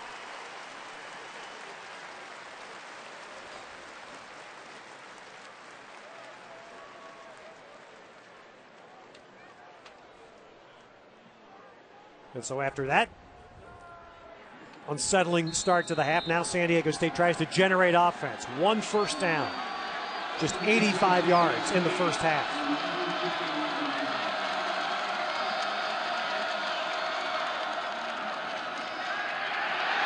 Ryan Lindley throws it low and incomplete. Pressure there from Colin Jones. There are the uh, numbers for the first half from Windows 7. And San Diego State, the bottom line is they just got nothing going. One first down, couldn't run the football 17 yards. And and after a while, TCU, Andy Dalton, and that offense got it rolling and came back from a miserable start if you're Gary Patterson, but he liked what he saw in the end. I want you to talk about this quarterback here when we get a shot here. Look at where Lindley has to get down to get this snap, Kelly. He's a big guy, six foot four. As a handoff goes to Hillman, and he's stopped. Tejay Johnson leading the uh, leading the defensive surge for TCU. You talk to Iosefa. Iosefa is that center that's only 5'11. They list him at six foot, but this is the power play. You're going to see the guard pulling. You're going to see the outside block right there. This is the identity of this new running game and the toughness. But right now, there is just no running room because of the fit. And you can see number three, Tejay Johnson, the extra run defender down in the hole. That's how you have to defend the power play. It was never blocked. Third and 10, shotgun, four rusher spread very wide for TCU. Daniels picked up by the running back, and then underneath it's Sampson, and he's covered and dropped by Colin Jones. So the completed pass for just a short gain, and San Diego State once again will punt. And once again, TCU dictating to San Diego State when they have to throw the football, not when they want to. And third and long, and Colin Jones does a nice job dropping into a two deep zone, reacting out of it, and getting Sampson to the ground before he can convert. A little bit of busy punting day for San Diego State, and Jeremy Kerley going to get another shot to return with some blockers. But then he runs into Aaron Brewer, the long snapper that got down the field to cover the kick for San Diego State. Still good field position, just shy of the 50. 78 passing yards in the second half as uh, Tucker slants off the left side and gets it down to the San Diego State 45. 78 passing yards in the second half. Andy Dalton will get to 10,000 Wow. passing yards in his TCU career. Yeah, he's uh, fairly efficient, wouldn't you say? Incredible. And he does it week after week. He doesn't have many down moments, especially now his senior season. He's basically seen it all, and he just simply does not make many errors. Quick hit to Kerley. And Kerley spins his way down to the 35 and a first down on a tackle by Darren Lewis. That is the eighth reception already today for Jeremy Kerley, three for touchdowns. And that's a classic way of how you can design touches for your playmaker. And that's what TCU likes to do offensively for Jeremy Kerley. They get him going early in the game, and they'll get him going early in this second half. The bubble screen, your fellow wide receivers blocking for you. Get your playmaker the ball in space and see what he can do with it. Fullback Shivers in the game. Two backs, two tight ends. Unusual alignment here for TCU. Dalton's going to run, bumps into Shivers, and then gets a couple of yards. You get so used to seeing spread fields, then they come at you with a two back, two tight end set. That's really going to disrupt you on the defensive side. Well, and actually, Dalton wanted to go to Boyce outside, matched up one on one, but Boyce fell down coming off the line of scrimmage. And so Andy Dalton made a good decision by just getting what he could and getting upfield. They got a couple. Second down eight for TCU. Matthew Tucker continues as the running back. Brief appearances by Ed Wesley in the first quarter, and that's it. Tucker outside. Tucker into the secondary. Down to the third level tacklers to the 21 yard line. 13 more and a first down.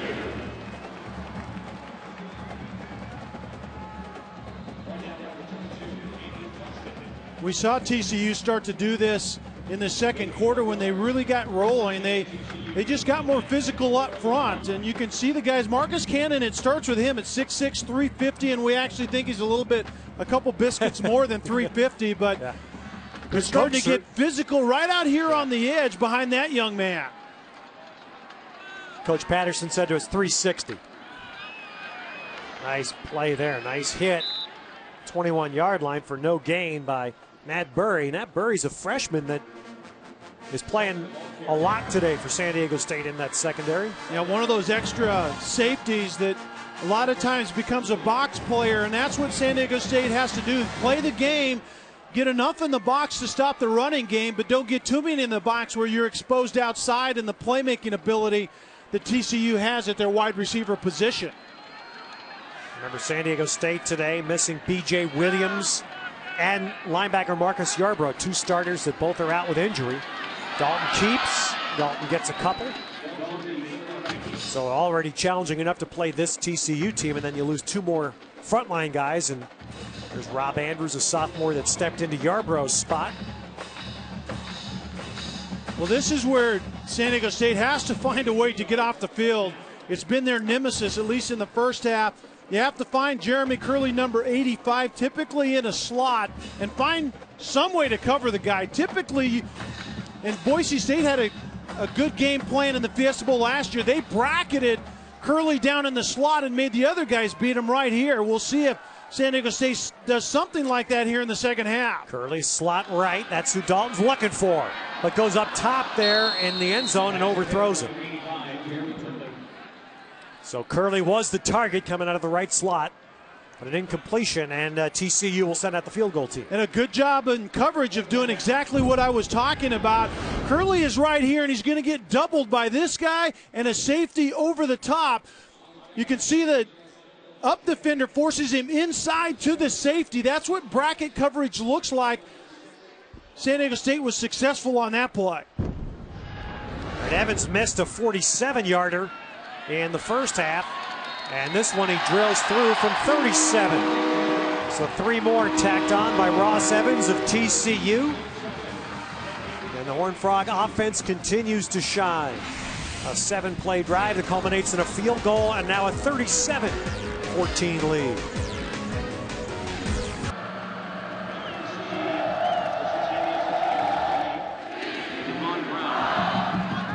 Von Brown back, but San Diego State, this will be uh, Sam, Dominique Sandifer.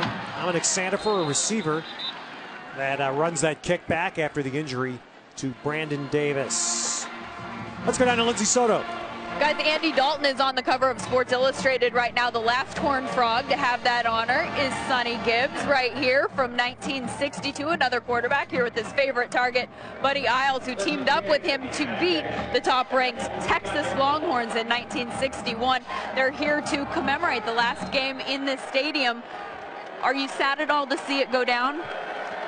No, because it's, it's hard to run those stairs when you cut class. No, it's it's got a lot of tradition here, but it's antiquated, so they need to bring it down and build a new. What is your favorite memory about playing here? Uh, actually, playing all the number one and number two teams in the nation, beating them and tying them. You were telling me it used to be a, more of a wind tunnel. Yeah, it, it used to, it blows the predominant wind is south, southeast and northwest. And one time I kicked the ball, I punted for us, and the ball dang near blew it back over my head. So yeah, it does blow. What do you think about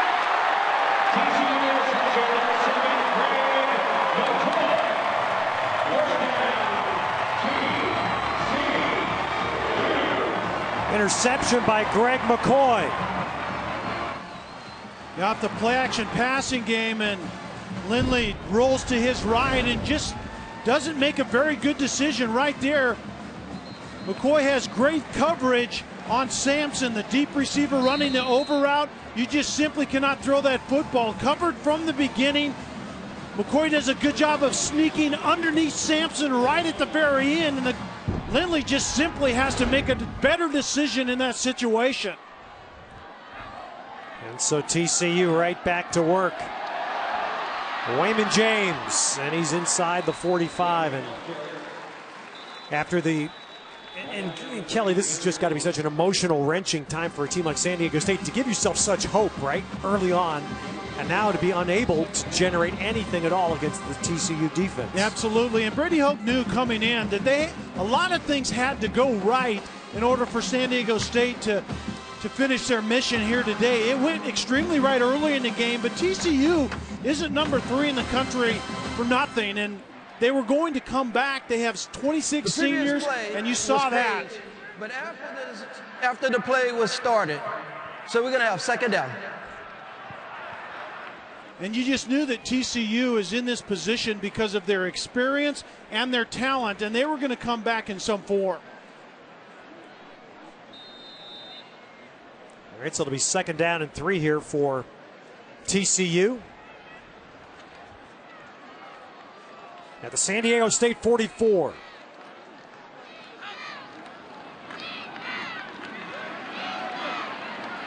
And Dalton keeps, and Dalton is we brought down, it appears, just shy of a first. Already TCU running up on 60 plays already, Kelly. We're still midway through the third. Well, they're getting a lot of opportunities because San Diego State simply cannot convert on third down and possess the football for any good at all. And Andy Dalton doing a nice job today, just taking what the defense gives them, finding his matchups, and he's done that early and often in this game. Tight end slides, another handoff. And Waymon James barrels his way down for another first down. This is what TCU did in the second half last week, Kelly. Once they had the lead, they were just able to run, run it right at Utah. Yeah, the physical run game. Give it to James, and just listen to this at the end. And that's 5'8", 203 pounds, kind of a bowling ball. He actually is very explosive as well, and you can see it on that play. Well, he stiff-armed uh, defensive back on his way into the end zone in a first half touchdown run. And here on this give, all the way down inside the 15 for Matthew Tucker. So with Wesley missing most of the game, the two-headed backs are Tucker and James when they're both having a big day. 18 more here. And what you usually get out of Wesley, now they're getting out of Tucker on this play, and we saw James the play before. Kind of combine their skill sets, and it equals one Ed Wesley. That's 91 yards now on the ground for Matthew Tucker and 70 for Waymon James. And you can hear the pads popping. TCU started that in the second quarter. Get that big offensive line, just getting a hat on a hat and get these big running backs getting downhill in a hurry. Timeout here, TCU. And on the other side, 16 yards rushing for Ronnie Hillman. San Diego State's 1,000 yard first year runner. It's a TCU taking the timeout here. Seven minutes even, third quarter. TCU on its way to an 11 0 record. All right, Kevin. Well, of course, uh, the TCU fans are hoping that somebody can knock off either Auburn or Oregon and allow TCU to, to get a shot to play for it all if they can finish 12 0. And the fade's broken up nicely. McFadden breaking that up for San Diego State intended for Josh Boyce. Kerley inside that time. Remember, we've already seen a touchdown pass fade from the inside, and this is just a simple fade. Boyce matched up one on one outside. McFadden doing a nice job of not only staying in the receiver's hip pocket, but finding the football at the end of that play and making a nice play on the ball. Quick to the line here, and TCU doing a good job of handing that ball off quickly to Tucker, and he is down inside the 10. And of course, the other part that is well, I guess we all have our personal opinions on how yeah, tasteful let's, this let's part of yours. college football is, but we're in the beauty pageant segment. And, uh, you know, it's, it's reality, and everybody knows it, even if it's unpleasant to talk about. How about Wisconsin today? Yeah, absolutely. I mean, you're talking about a one loss team trying to points? barrel their way in. 83 yeah. points today? Unbelievable. Third down. They can get a first at the three. The bunch is left, so they throw the slant right to the ISO receiver. But again, McFadden just stands up nicely for San Diego State. What TCU does is they go three by one, three receivers to the left, and Boyce is ISO to the right. The quick slant, outside move, and come underneath. And that ball got through to him. He probably just need to catch it. But what a three by one set does is it defines it quickly for Andy Dalton. They had everything they wanted, they just didn't complete the play. And so a rare stop here in the red zone. And Evans was one for two in field goals today. And that one is no good. He's now wow. one for three. He's not kicked a long one this year, so the 47 yard miss was not necessarily so distressing. That one will be a little more bothersome to uh, the TCU side. He might want to avoid uh, Gary Patterson when he runs off to the sideline, too. And again, you, you don't like to think about it, but points. Uh, points can play some tricks with some people's minds this time of year. Well, you talked about the uh, beauty pageant. Well, you know, if you have TCU got off to a slow start, but they played very well since then. You have Auburn head to head tied up with a five and five team. San Diego State's a seven and two team, but I guarantee in the voters' eyes, a seven and two San Diego State doesn't compare to a five and five Georgia. Right which is a shame. And there's a uh, handoff inside and just a handful of yards for Hillman for San Diego State. And the thing I, I love about this whole drama as it plays out. Gary Patterson and Chris Petersen, the Boise State coach, are friends. Gary Patterson spent one year coaching at UC Davis early in his coaching career, and the quarterback that year of the UC Davis team was Chris Petersen. And they, they were, yeah, they were texting each other back and forth when we were meeting yesterday. yesterday. And uh, and what was interesting out of the shotgun is the handoff to Hillman. And Hillman gets outside and is spun out of bounds, still short of a first down. Chris Petersen, our uh, uh, uh Gary Patterson wished Chris Petersen luck last night for Boise State's game. Chris said, thanks, uh, I appreciate that, and have a good massage tonight. Yeah, Gary Patterson said, what great. is he talking that about? was great. I don't get massages. Maybe he does, but I don't.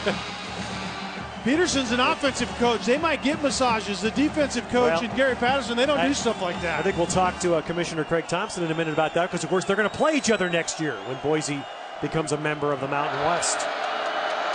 Third down and two. Still just one first down today for San Diego State.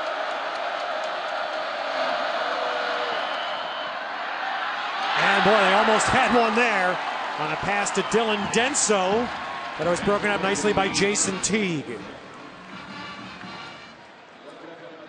And so remarkably, on their Second play from scrimmage of the game. San Diego State hit a big pass, and it's still their only first down of the day. Once again, great coverage. And even though Teague does not see the ball, once the receiver reaches up for the ball, Teague does a great job of punching the ball out late. Exactly the way you should play that.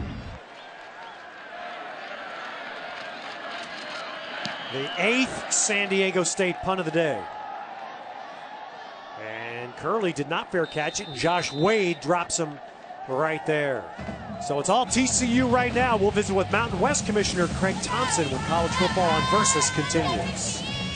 Some years it'll be uh, every team in the Mountain West Conference has played in a bowl game in the last 12 years, and so it's very exciting. They have a, a great program going. Brady Hoke has done a phenomenal job in, in resurrecting San Diego State football.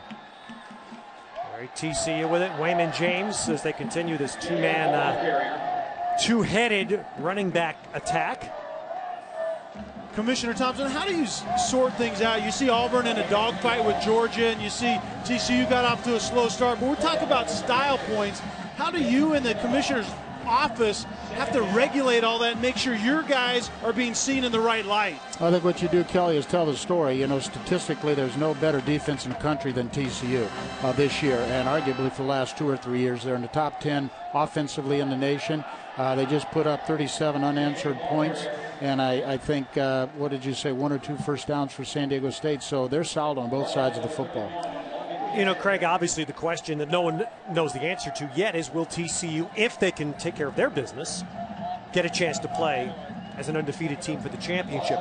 But just give us a sense from your viewpoint, the Mountain West's position, of how the Mountain West has played against the so-called power schools and the power teams. Well, we've done very well. We're 18 and 8, the best bowl win percentage over the last six years, and, and arguably have played these people.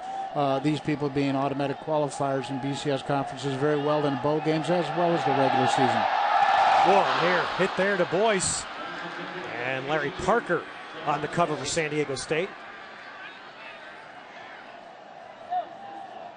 And how much of all of that information do you think makes a difference? I know it's a tough one, but I know does it. That's a tough one because you start getting into the uh, comparatives. You know, we were talking a moment ago about Auburn and, and the Georgia game. Uh, Georgia lost to Colorado, mm-hmm. who's lost, uh, won, I think, right. two or three games this year and, and changed football coaches. So, you know, you can play that game all day long. And, you know, the people, all that you can say about TCU is they've lost three games in three years.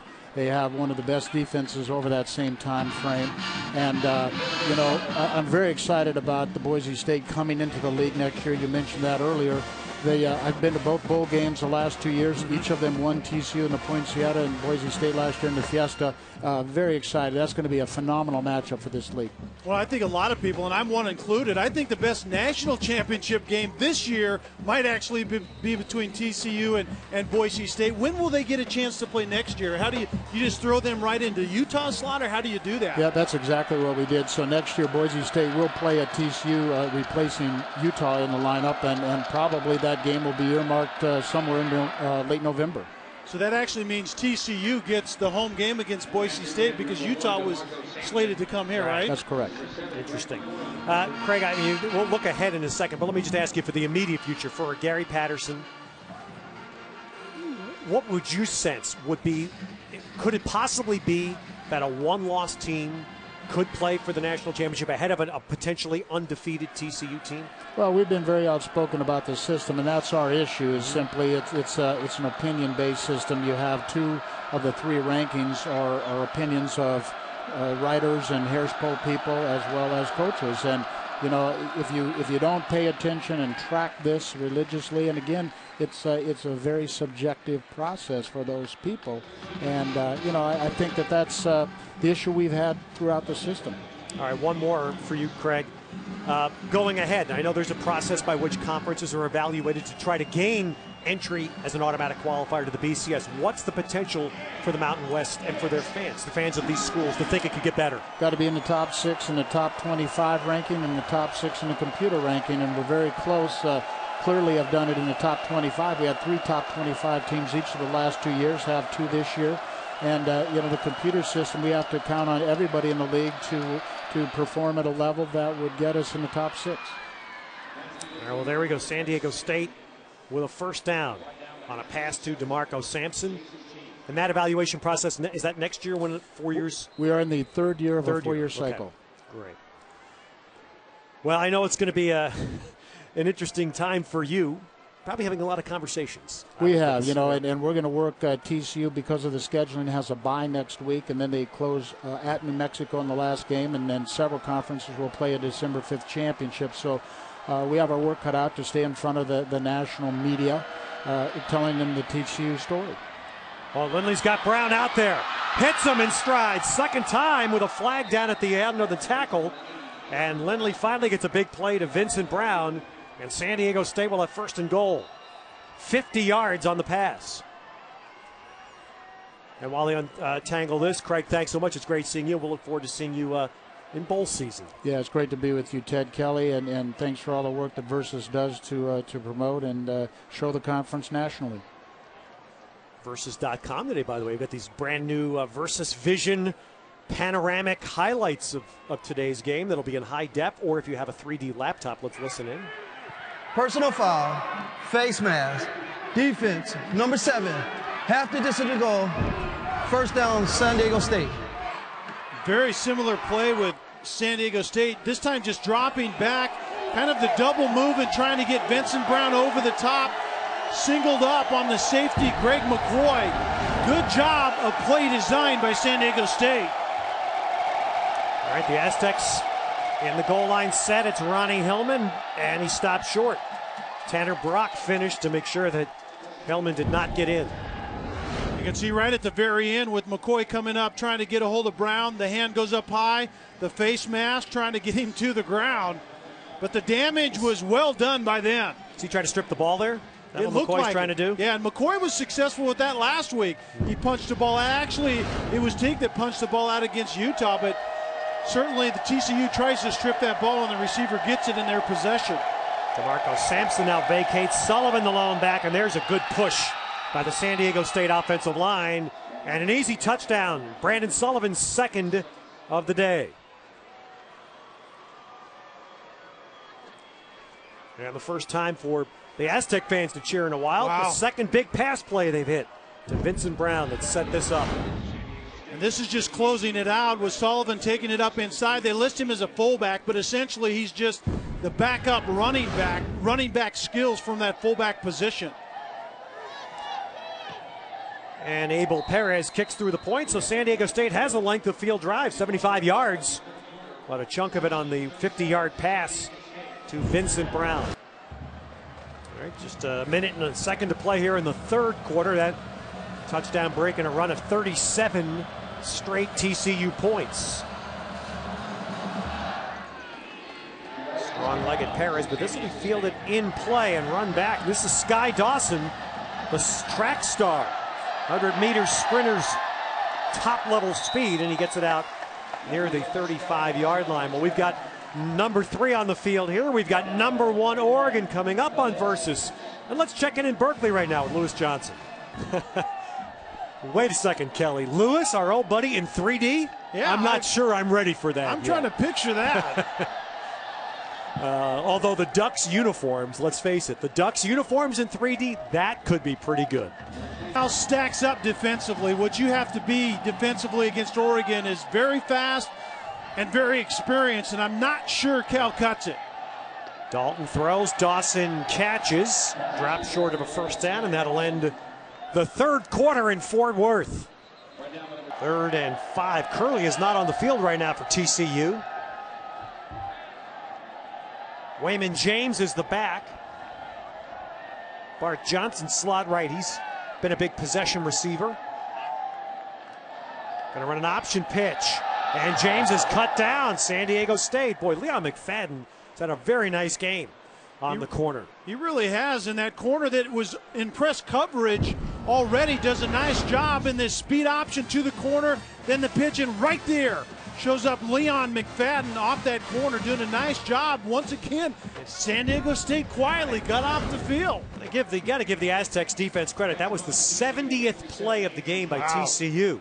And so you start wondering, are they going to get worn down? Are they getting run out? When they come close to that punt by Kelton.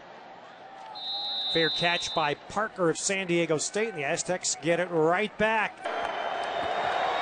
And here's San Diego State on first down. Lindley with all day. And the cross is tipped, intercepted. Tejay Johnson. And there's a devastating turnover off the hands of Sampson.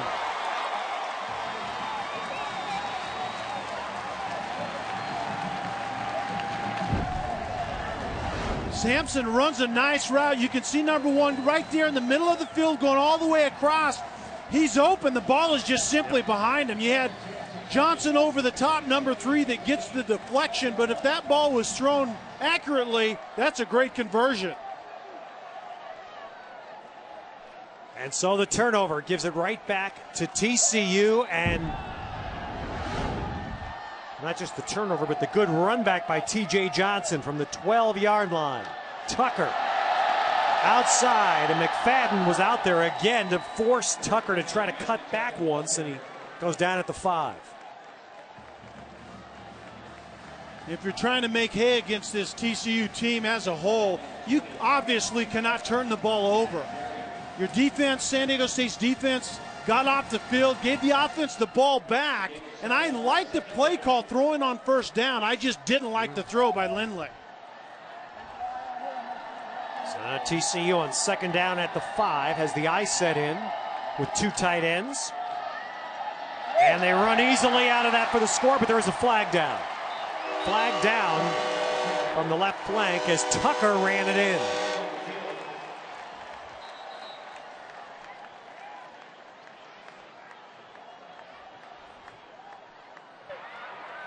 Holding, offense, number 77, 10 yard uh, penalty. Replay second down. Spencer Thompson, the left guard, gets called. The left guard actually wasn't figured too prominently into this play. He rotates with number five, Dooley. You can see him right here is actually the player that's going to get called for the hold. The play is going to go to the opposite side. You can see the lead fullback. It's a design cutback because of where the fullback goes. And it's hard to tell. I mean, there's holding inside on the line of scrimmage about every play. So that takes six off for TCU. They're back to the 14 yard line on second down. They can't get a first at the two. Back of the end zone, too far. Jimmy Young running the route. It'll be third down. And TCU has done this a few times. They they hurry to the line of scrimmage. They go bunch formation, snap it quickly, trying to catch San Diego State disguising that 3-3-5 defense and where the pressure is going to come from. TCU hasn't handled that part of their offense very well.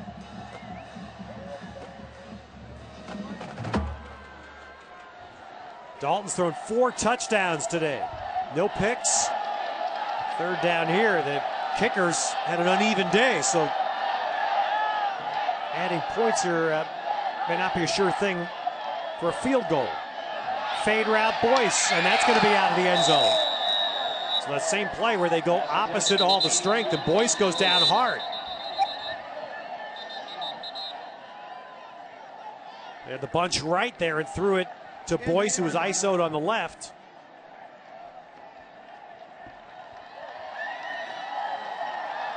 And you're right. You have the quads to the left and the single receiver to the right. And Dalton didn't think Ooh. the safety could get there in time, but that was incredibly that's, ugly.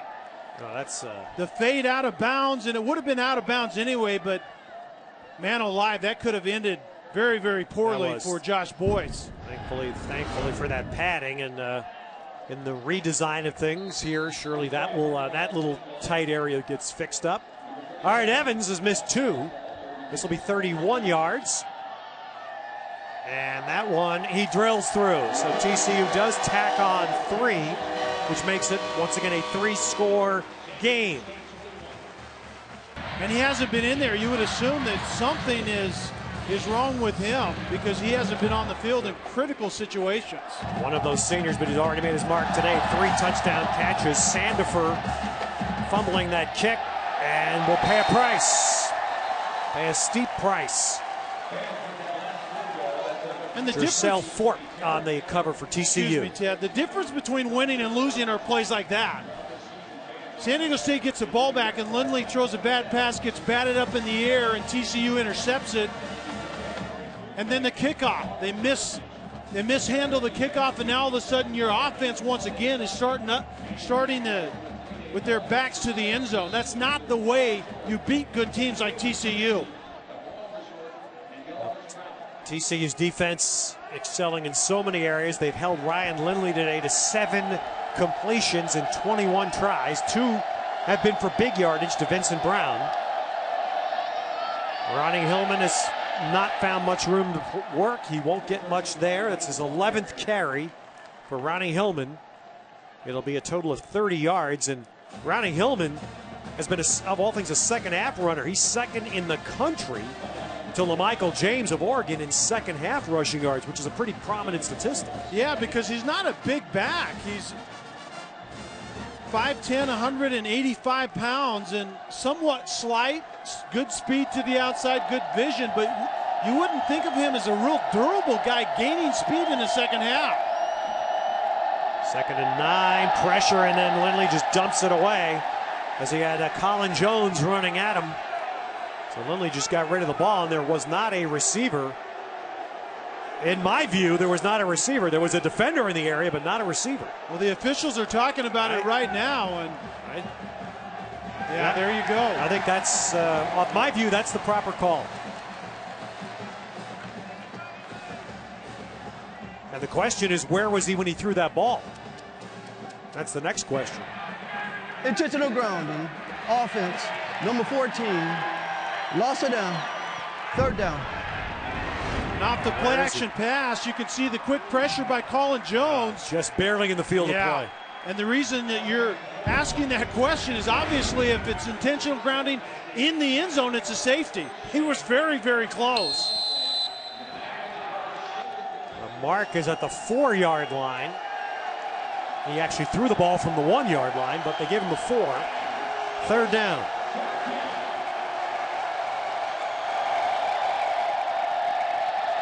Unblocked man coming, throw back across.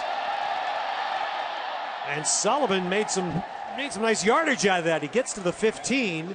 It's still short, but 11 yards, which gives uh, the Aztecs some space if they choose to punt. They're all looking at Brady Hoke to see what he's going to say on fourth and five. Yeah, and read his lips, punt the football, and that was a pretty good play right there. Sullivan does a nice job of.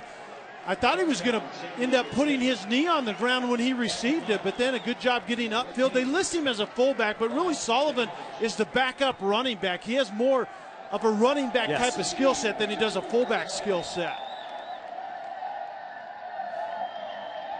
Right, punt nine for San Diego State, and it is not Kerley that's back to uh, field it.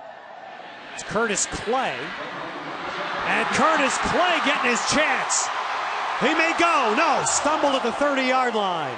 And again, the punter was there. Second time Stahovich has tried to, uh, has basically saved a return for six.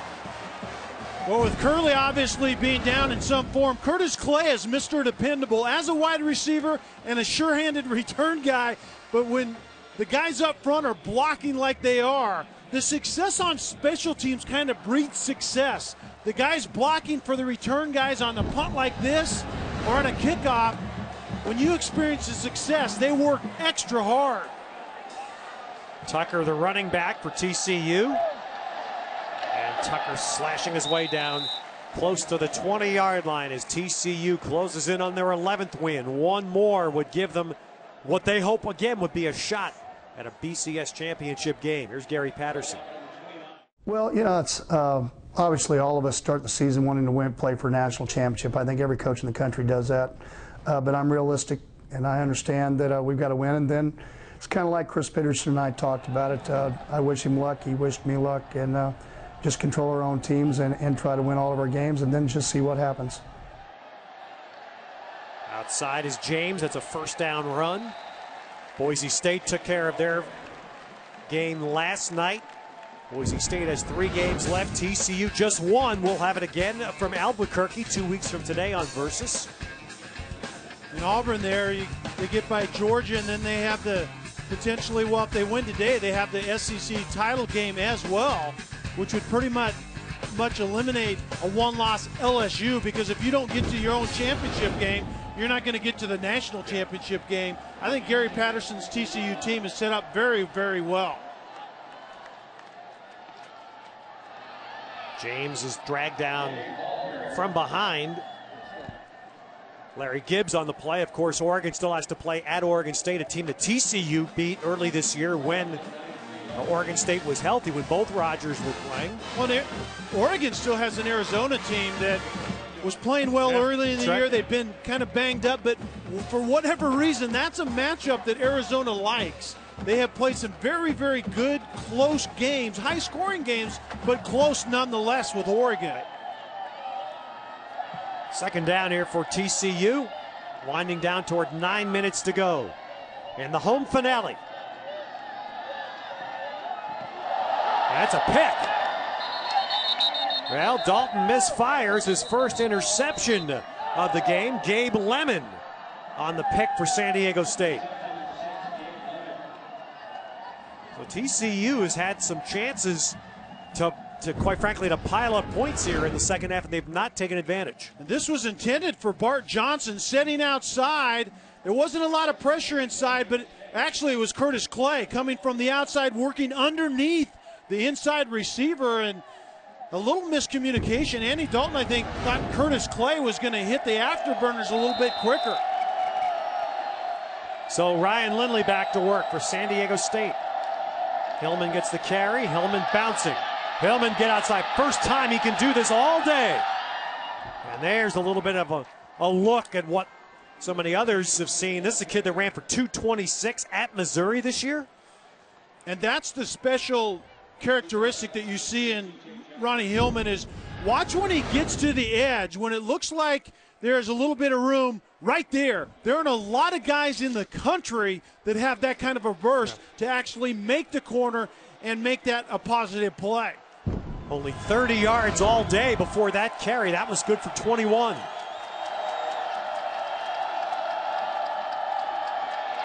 Jones pressures, Jones sacks Lindley. Flags down.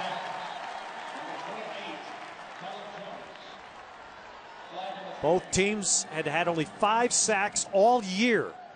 Two on uh, TCU in the first quarter today. Illegal formation on the offense. Five men in the backfield.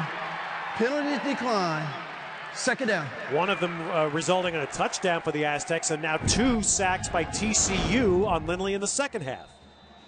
And one of the few times that TCU is actually getting pressure, the play action passing game is tip, typically well protected, but 28 Colin Jones coming off the edge. That's one of those extra safeties. And Colin Jones' speed adds a new dimension.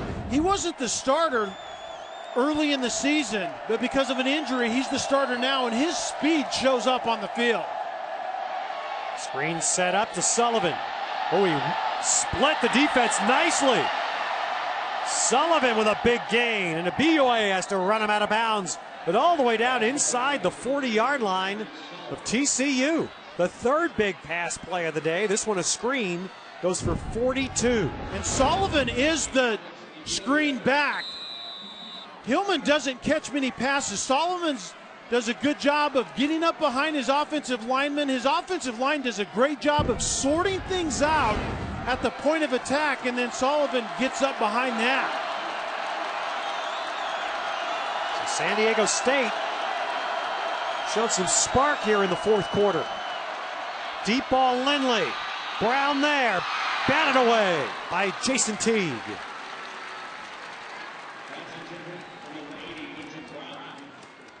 Jason Teague, a, a big cover corner, big bodied 6'2, almost 200 pounds, one on one with a big receiver. And if this ball is just to the back of the end zone, you can see it's really underthrown there. Brown had a step on Teague, and Lindley just needed to lay it out there a few more yards. San Diego State has now thrown for more yards than any team against TCU this year. Just shy of 200. Hillman brought down by Tanner Brock. Of course, the, the, it's somewhat deceiving in that the bulk of the passing yards now have been on three plays. Yeah. Two deep balls to Vincent Brown and a screen to Sullivan. Yeah, if San Diego State could have gotten something going offensively between those big yes. plays, they would be doing something right now, but they just simply haven't been near consistent enough. And certainly here it's four down time for San Diego State. So two plays here, they need seven yards. Lindley throws on the run. Nice throw. Touchdown. Vincent Brown. Well, that's Lindley's best throw of the day. 33 yards on the move. And San Diego State scores again. San Diego State sets this up well. They have tripped receivers to the right. Lindley's getting protection, going to roll that way and just drop coverage. You can see boy Ibi Oye just simply doesn't do a good job of reading the direction where your quarterback's going. You don't have to worry about the backside. All right, Brady Hoke's team, they uh, did not choose to go for two there, which might have uh, been a play. They kicked the extra point, and they're within 12.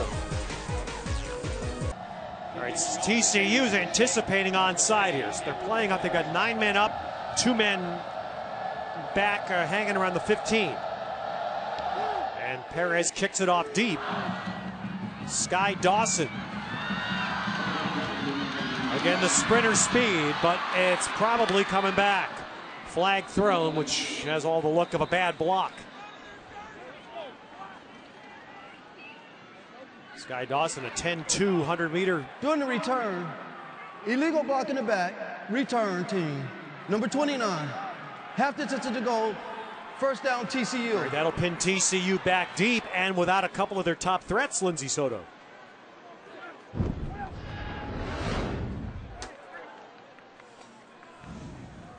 be hard to see it. I think the lower right, right there was probably it. I didn't. A lot of times they call the guy at the point of attack. You have to understand when the ball is in your area, you can't do anything questionable just like that. All right. Here's Dalton with a give, and Tucker gets outside and gets about three yards.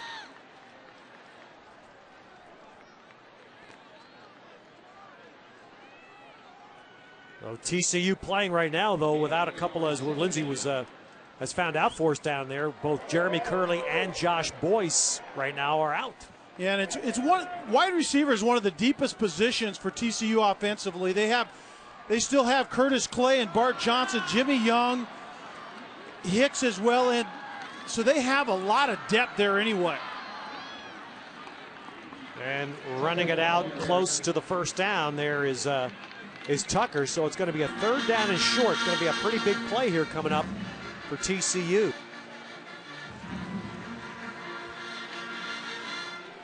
Five forty to play. Well, you talked about whether San Diego State should have gone for two that last possession. They're down by 12. That's yeah, that's you can see Boyce right there with the ice pack on his knee. So a third down play that TCU needs. And San Diego State there. It's been an interesting fourth quarter, hasn't it? That TCU has not been able to put this game away as Ernie Lawson makes the play. This has not been like the second half of last week's game when Utah just really TCU just smothered them. Yeah, and I think that's where you see the improvement of San Diego State is I think in games like this in the past, they've found a way to just get blown out when it wasn't going well. San Diego State. Brady Hoke trying to save some half. time uses a timeout to save about 30 seconds of clock. But I go back, yeah. Kelly. Every team has the card. We all know that if you follow football. Interesting because the difference between a 13 point and 12 point deficit is insignificant. 13 to 11 yeah. is significant. That's why I was a little caught off guard that the Aztecs did not go for two. Yeah, you could get going for two. You could get into that, you know, a touchdown two point conversion, and then all of a sudden it's a it's a touchdown that can get you back in that game and tie it up. All right, Kevin. Well, the big question of the last 24 hours would Newton play? Has he ever?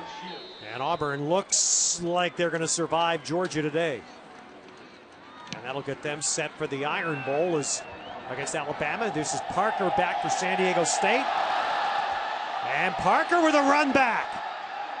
Breaking. Parker still going.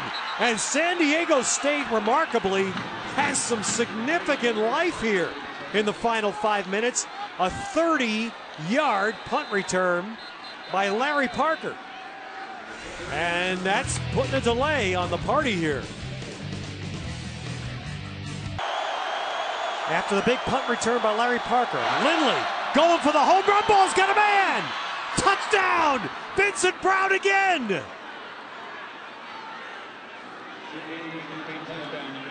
Silencer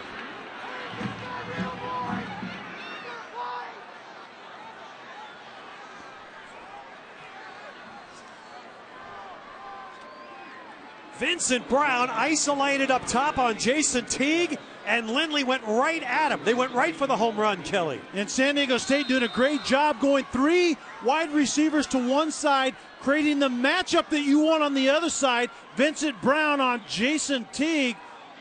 Wow. A five point game, still 450 to play. What San Diego State is went three by one. You can see the three receivers down here creates the one on one here. All Lindley has to do is make sure that this safety doesn't go interfere with coverage outside. With the safety that far over the ball, I know exactly what I have outside. If I throw the right ball and my receiver gets off the line of scrimmage, good things are going to happen, and it did for San Diego State. This has been something. San Diego State was averaging 15.5, as you see in Lindley's numbers, 15.5 yards of completion coming into the game, which led the country. Lindley's completed 11 passes tonight for 262. Wow. That's 20, 20, almost 25 yards of completion. San Diego State knew coming in that they had to get yards in big chunks, but I don't know that they Yeah. anticipated that. And a TCU defense that not, had not allowed anybody to throw for 200 yards against them this Wow. year. 262 for San Diego State. And the other side of the ball for San Diego State is Rocky Long's defense has found a way to get Andy Dalton and that TCU offense off the field and give the San Diego State offense the ball back once again. Again, TCU guarding against an onside, but now no need. With this much time remaining, the ball kicked deep. This is Skye Dawson. Skye Dawson. And there's that speed. The unmistakable speed that gets him out to the 45 yard line before Logan Ketchum drops him. 44 yard return. And once again, TCU gaining an advantage, having a big play on their special teams. They do this consistently throughout the entire year, and if it isn't Kerley, tonight it's been Skye Dawson doing a tremendous job on that return. And now what you have that you can't help but think on the TCU side, you've had a missed extra point in this game, a missed short field goal, a red zone interception earlier in this quarter by Dalton. A lot of chances where they really could have put this game away. Well, and if you have your experienced quarterback, you have to be willing to throw the ball in this situation as well. Waymon James hammers it and hammers it to midfield and gains five. And as we go down to Lindsay Soto. Guys, Andy Dalton knows that they need something out of this offense right now. He spent the last defensive series walking up and down the sideline trying to fire up his troops.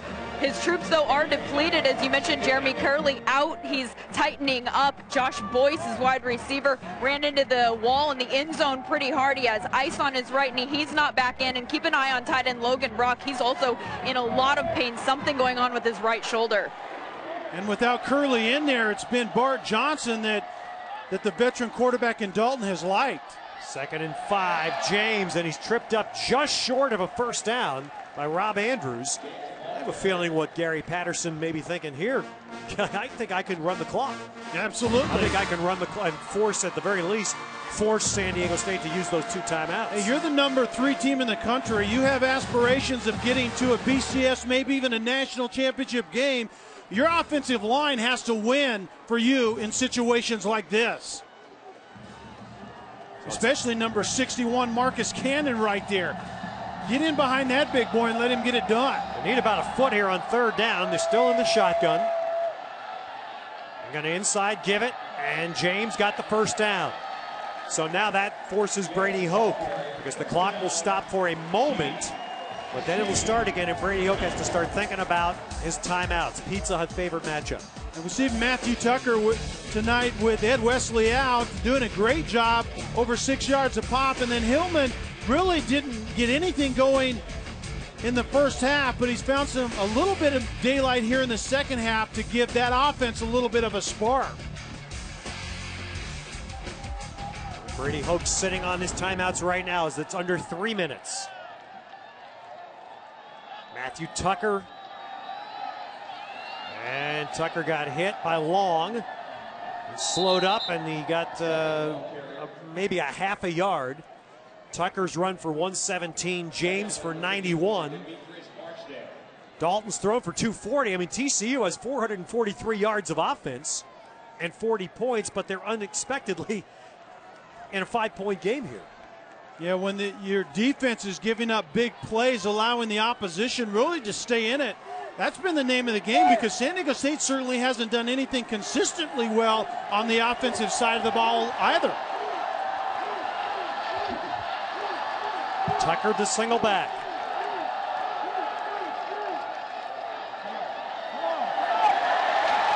And that's big. That will be a first down for TCU under two minutes.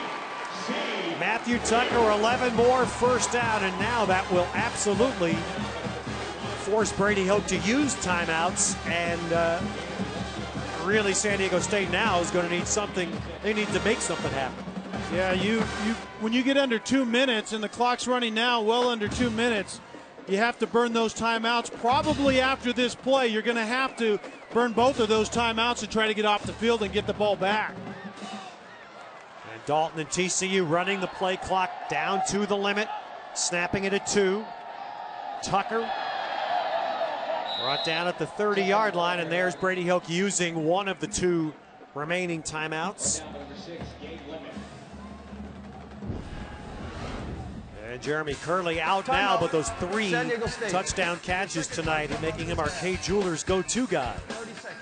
And the injury of the tightness hasn't allowed him to be the go-to guy here lately, but this was the mismatch that Andy Dalton liked really in about the first three quarters of this game. And San Diego State simply didn't have any answers with Kerley coming from that inside receiver position and just getting one big play after another. But when they needed him here down the stretch, he hasn't been able to get back on the field. Of course, they'll have a week. TCU is off. They have not had an off week yet this year. They'll be off this coming week and then finish their season two weeks from today in Albuquerque against New Mexico. You'll see that game on Versus. And of course, that's wiped out now. That's no longer relevant after the 35 points that San Diego State has put up here on the board. And James drives it, and he is within a yard of ending the game. And San Diego State has used its last timeout. Timeout. San Diego State. The third and final charge timeout the second half. And so it comes down to one play, one yard. If TCU gets a first down on this play, the game will will be over. Right now, TCU trying to finish here, and they do, and that will do it. Waymon James with the first down carry, and now barring a complete catastrophic mistake, TCU will have the ability to run the clock out. Now you have to start thinking about the style points that we talked about. TCU had their hands full here in the end, and Auburn obviously had their hands full against Georgia. How does that sort out on the BCS stage? It's kind of like the beauty, or like the the, uh, the talent portion part of the beauty pageant didn't go so well. Yeah. TCU had mastered the first parts tonight. It didn't go all that well for Auburn either, but That's typically the non-AQ schools like TCU get penal- well, no penalized question. at a higher more- degree. Much more benefit of a doubt. That's the one knee, and it looks like that'll be the only one I believe that TCU has to take. Play clock and game clock are in sync, so The other thing, Ted, is it really did not help TCU for Utah to go down and get handled by Notre Yes. Dame like they did. And that's that's uh, the reality of the day. But the flip side is that TCU is taking care of his business. They're going to take one more snap here just to be sure. That TCU will win its 24th consecutive regular season game. And they will be one game away from a second consecutive undefeated regular season. That's all you can do. And give credit, though, to San Diego State. They will play in a bowl game this year, and after being smothered by the TCU defense for most of three quarters, Brady Hoke's team played one terrific fourth quarter. Oh, absolutely. And the thing that order number one was to instill toughness into the San Diego State program, and that's what you saw in the fourth quarter. That toughness was coming out at a time when they had every opportunity in the world to just lay down and quit. Andy Dalton's 40th career win as a quarterback at TCU. That's some number. As TCU sends off 26 seniors and their stadium today in a finale with a win. So number three is one on versus. Now it's time to watch number one Oregon as they get set for battle against the Cal Bears. For Lindsay Soto and Kelly Stouffer, I'm Ted Robinson. Thanks for joining us in Fort Worth as college football continues on Versus. Coach, you said all week you thought this game was going to be tough. Is this what you had in mind? Well, not along with our offensive line coach, Kerley went down, Boyce went down, and we ended up defensively blew three coverages. So uh, when you do that, those kind of things are going to happen to you. Also lost an offensive line coach early in the game. Can you give us an update on his condition? Well, right now I think he's stable. Uh, they put a catheter in and he's doing good, and uh, we're all thinking about him. But I think he's okay right now. Doctors did a great job. Are you concerned at all about the fact that this was a close game and how that might affect you in terms of the polls? Oh yeah, but I can't worry about it. I won 40 35 and 11 and 0. So, uh, you know, we want we knew it was. We had some problems with some things. We had some players out, and uh, we found a way to win. That's what we wanted to do. What were the problems? Well, number one, we, we didn't have a lot of players. We lost Kerley, we lost Boyce, we lost an offensive line coach, and defensively we were down four players. So uh, you got to do it, and the guys that back up got to be it. That's how you win championships. So uh, there is no excuses. We got to go play. Congratulations on the W. Thanks. Guys. Andy, your BCS hopes are still alive, but you had to fight for this one. What did San Diego State do against you guys that so many other teams have failed to do? You know, they came out and played really hard in the second half, and uh, you know it showed with the play. You know, we uh, you know we're weren't playing like we did in the first half, and uh, you know it hurt us a little bit, but uh, you know we got the win. You lost a lot of your weapons in this one, sort of had to improvise. How did that affect things offensively? Uh, I mean, I think we weren't uh, calling as much as we were in the first half, but you know they'll be ready to go in two weeks. We hear the fireworks overhead. That, of course, for this being the last game in this stadium on December 5th when this thing goes down. I think a lot of people are going to cheer just because people like explosions. What are you going to feel as you watch this thing go down? It's crazy. to have all the memories that I've had here, and uh, you know, with all the players and everything, it's just going to be emotional. But uh, you know, the new stadium's going to be pretty sweet. Thanks a lot, Andy. Congratulations. Thanks. Guys.